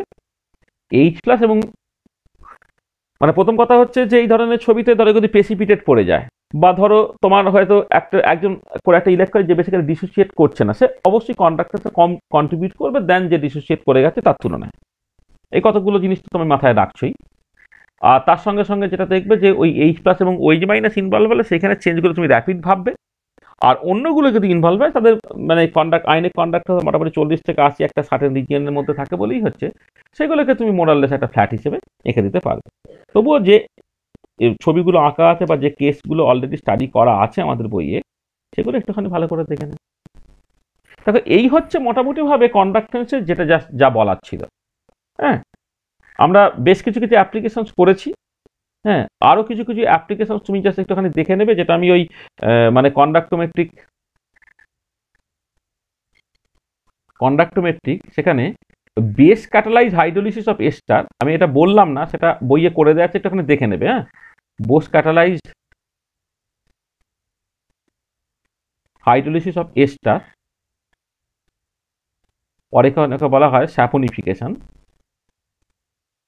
আর এই স্যাপনিফিকেশনটা আমাদের ওই ভলিউম থ্রিতেও আছে, এই পার্টিকুলার জায়গাতে, আবার ভলিউম টুতে যেখানে কেমিক্যাল কাইনেটিক্সের এক্সপেরিমেন্টগুলো আছে, সেখানেও আছে আর কি।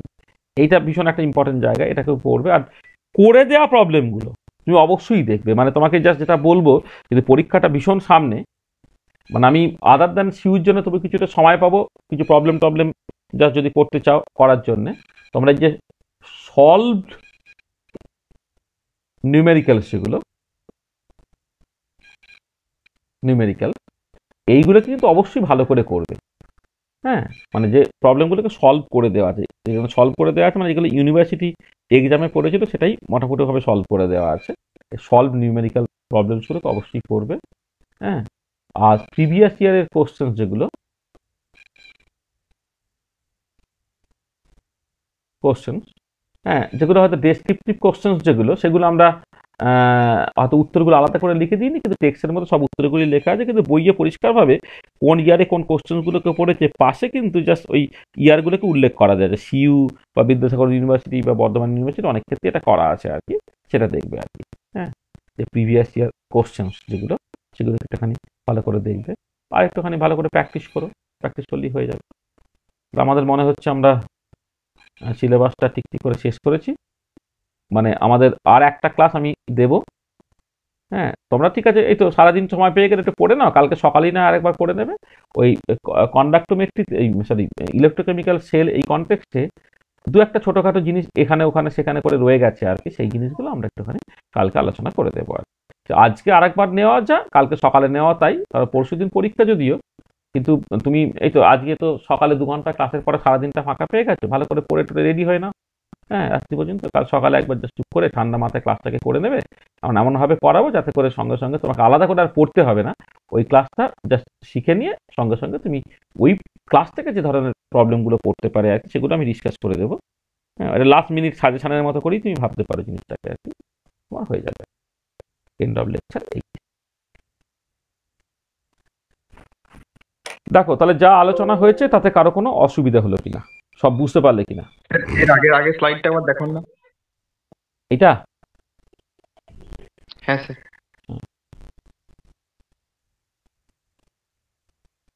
ঠিক আছে। স্যার ওই অ্যাপ্লিকেশন টুটা যেখানে করেছিলেন ওই ডিটারমিনেশন অফ আয়নাইজেশন কনস্ট্যান্ট ওর ফার্স্ট পেজটা একটু দেখাবেন। এটা? হ্যাঁ স্যার